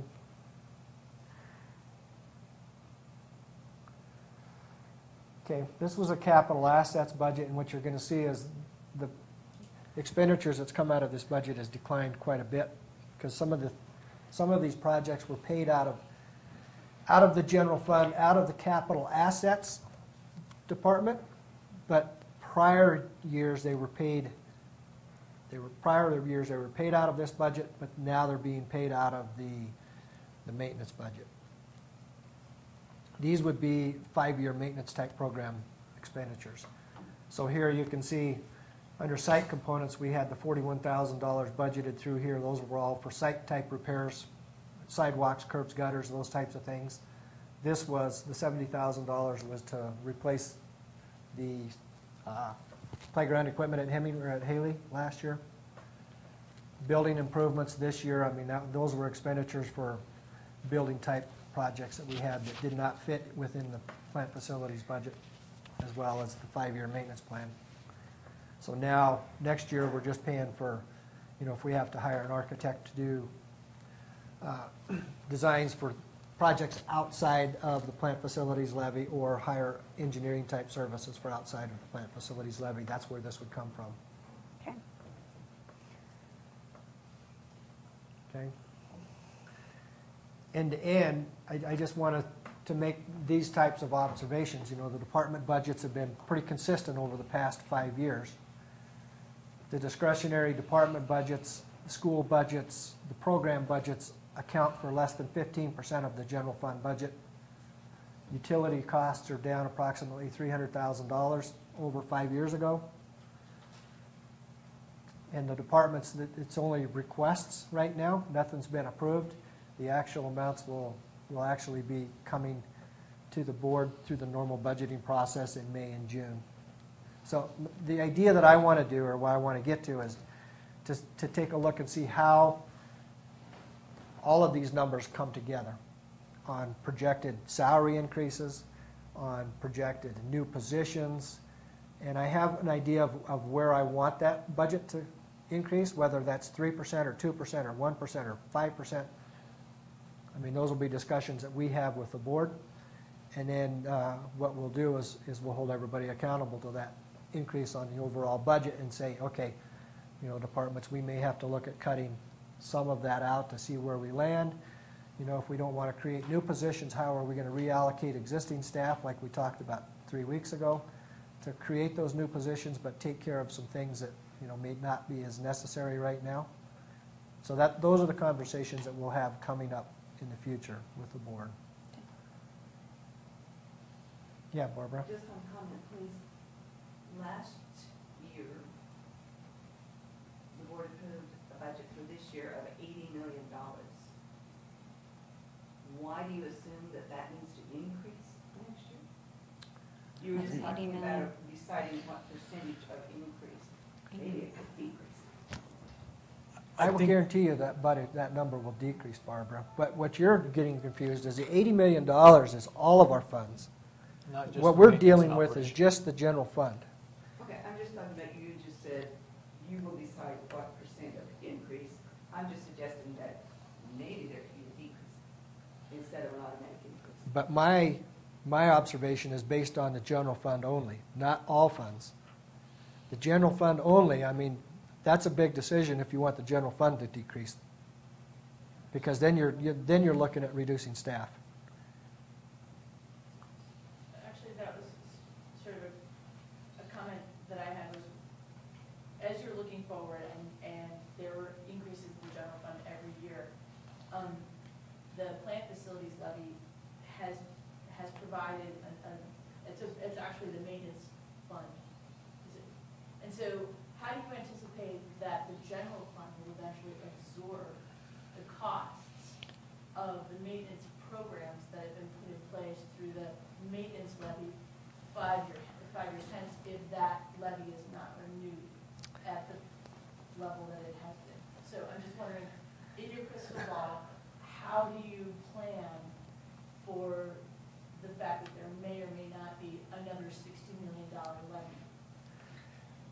Yeah, to answer that question, my guess is the next plant facility levy, if there is one, will not be the $60 million. It will be a reduction at some, at some point. And my guess is, it's it's actually not a guess, the discussions that the board had five years ago when they passed the plant facility levy was, is at this point forward, the maintenance type needs that the district has will be taken care of in this plant facility levy and future plant facility levies. And technology-related purchases, equipment, will be paid from this point forward, technology-related out-of-school plant facility levy, and into the next plant facility levy will also come out of that. So I think the decision was made by the board at that point in time to relieve the pressures of the general fund of those types of maintenance projects, as well as technology needs, and to take care of those things through plant facility levies. So essentially, There's a you're need for anticipating contingency. another one will come along, as opposed to, in other words, the first one was sixty million dollars for ma, for building construction, I was saying high school and Woodside and et cetera. So the next one was essentially sixty million dollars of maintenance plus technology. Not 60. And so what you're anticipating is essentially there will be another one to take care of those needs in the future, as opposed to the general fund absorbing those costs of the new infrastructure. You know, I- that's, that was the plan five years ago when the plant facility went into effect. The dollar amount, I mean, it- who knows what the dollar amount's going to be be 60. six years from now or five years from now when we start that process again. But the idea or the, the plan was, is to take care of those expenditures in the plant facility fund. So, I guess my question is, do you have Plan B in your, in your hopper? Because I know you've got, always got, like, there's a overflow, you've got some other funds. So do you have Plan B in case there isn't another levy?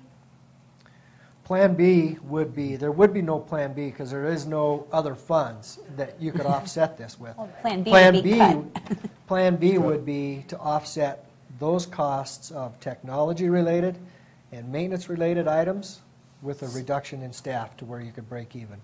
Right. so That would be Plan B. It essentially can't be absorbed in the general fund. Right. Not only that, but as we look at um, our situation in the district, 50% of our teachers are eligible for retirement within five years, Yes. 40, about. or 40, 40%.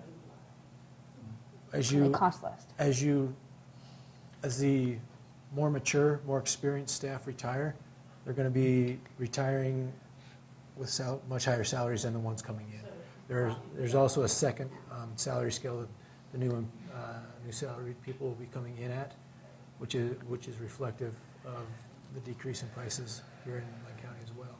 So the board, a- and with Mike's help, we've tried to make contingency plans to, we are trying to drop the budget overall. Short of a reduction in force right now, it's very difficult to just drop the amount we spend on employees. Yeah, I'm looking But we can that. do that through attrition over time. Okay, so in five years, you'll have a certain amount of number of people will will retire at the eighty thousand dollar salary, and more will come in at the forty thousand. 40. Yeah, that, that's correct, and we did negotiate last year a B schedule, which is a 12% reduction in salaries overall, uh, across the whole scale. And so when you look at that long, long-term, it saves several million dollars for the district, because the, the majority of our expense still is in, in salaries and benefits. If, if you look at the general fund, which I've been doing here and adding up some numbers, it is exactly 85% of the general fund is salaries and benefits. Um, And so when you look at um, losing, and the, the the stabilization cap is 58% of our current general fund. So when you're looking at, if, if that went away, I mean, I heard it said it was extra money. If, if you got to cut 58% and 85% of your budget is salaries and benefits, it's got to come from somewhere.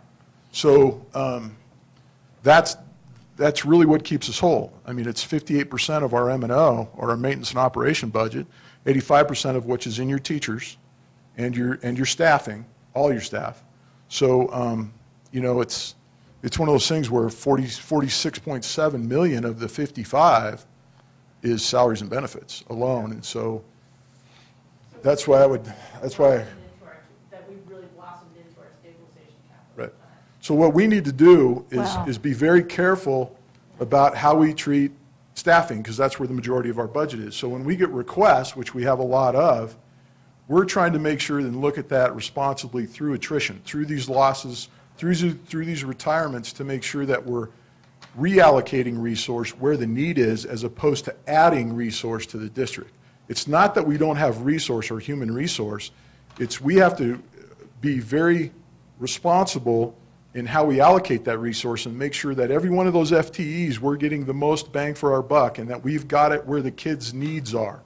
So um, that's what we're looking at now as an administrative team. We're meeting tomorrow to have this exact discussion as to how are we going to work as a team to look at all of our retirements and all of our movement and, and, and student enrollment and where are we going to reallocate FTE so that we're not adding to the district, but we're still serving the needs of the student population.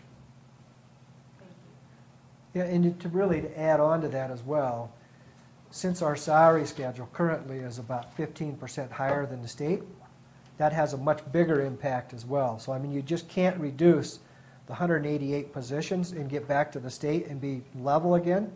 It's a Cost of hundred, living. it's hundred and eighty-eight plus the equivalency of that ten to fifteen percent higher than the state average. So it would really be a reduction in staff of it would be huge. I mean, I, I know I did this several years ago, and, I mean, you would eliminate, i- it's, it's a s- very scary scenario. I mean, you would have class sizes of 40. Four-day Because of weeks, potentially, like other districts in the state have. Yeah, no. Catherine, a question? Kind I just want to clear, you had just kind of mumbled, well, we blossom into our stabilization cap. That's not really true, because up until 2006, our schools were funded on the property tax. So we still had that money.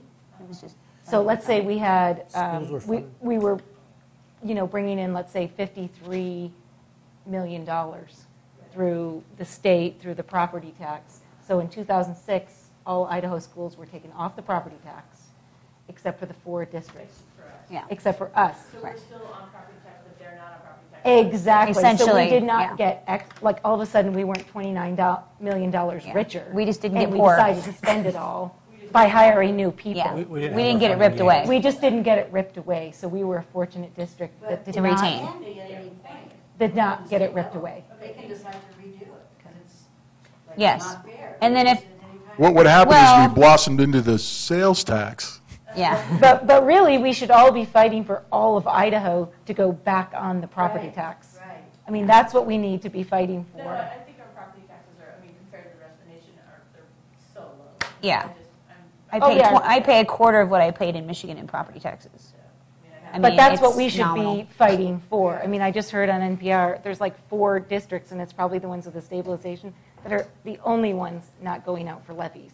Yeah, So they they're have to, going out. yeah. In the Magic Valley alone. In 2006, there you had 44 districts going out for supplemental levies. This year, you have 95 districts on supplemental levies. And most of those districts are operating in a deficit spending mode. We're one of the very few, if not the only one, that is not in that situation where, where we are deficit spending. And those sep- My, my my biggest concern, Yeah. my biggest concern is, is, you know, when, when the, the maintenance levy expires. Yeah. How do We've you- got some extra costs that we, you know, built in, as we've built new buildings, we've got, you know, staff to maintain those buildings, we've got new landscaping, we've got a whole bunch of new stuff.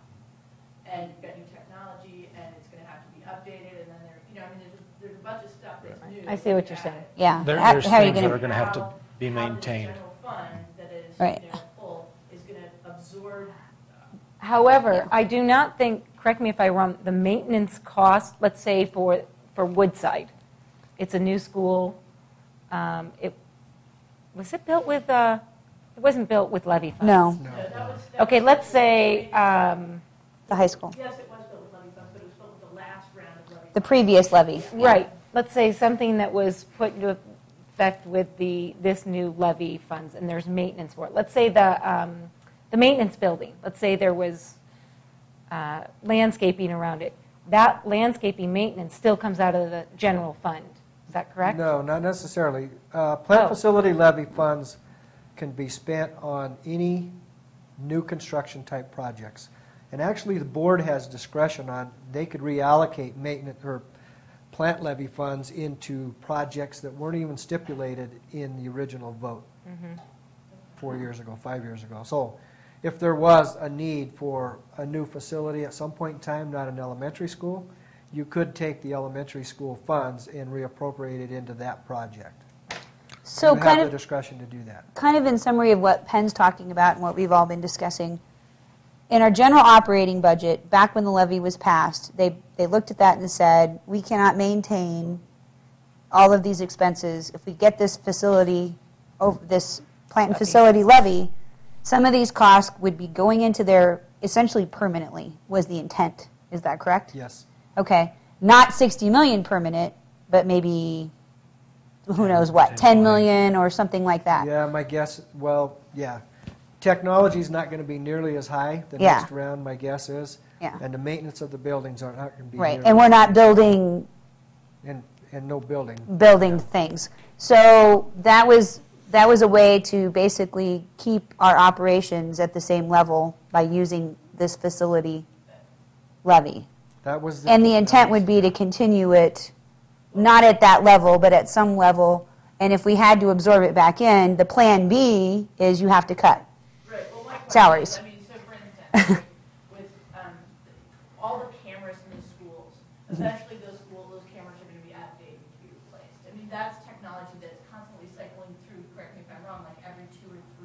buy of like copiers.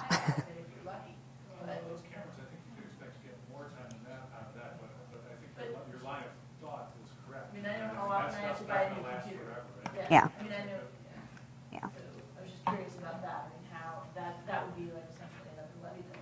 Okay. Yeah. Yes. Well, one thing, one thing we're, you know, we're very conscious of that. What you're saying is as you build that infrastructure with money, how do you maintain that ex- infrastructure once that levy's off the, off the rolls? We, we totally get that.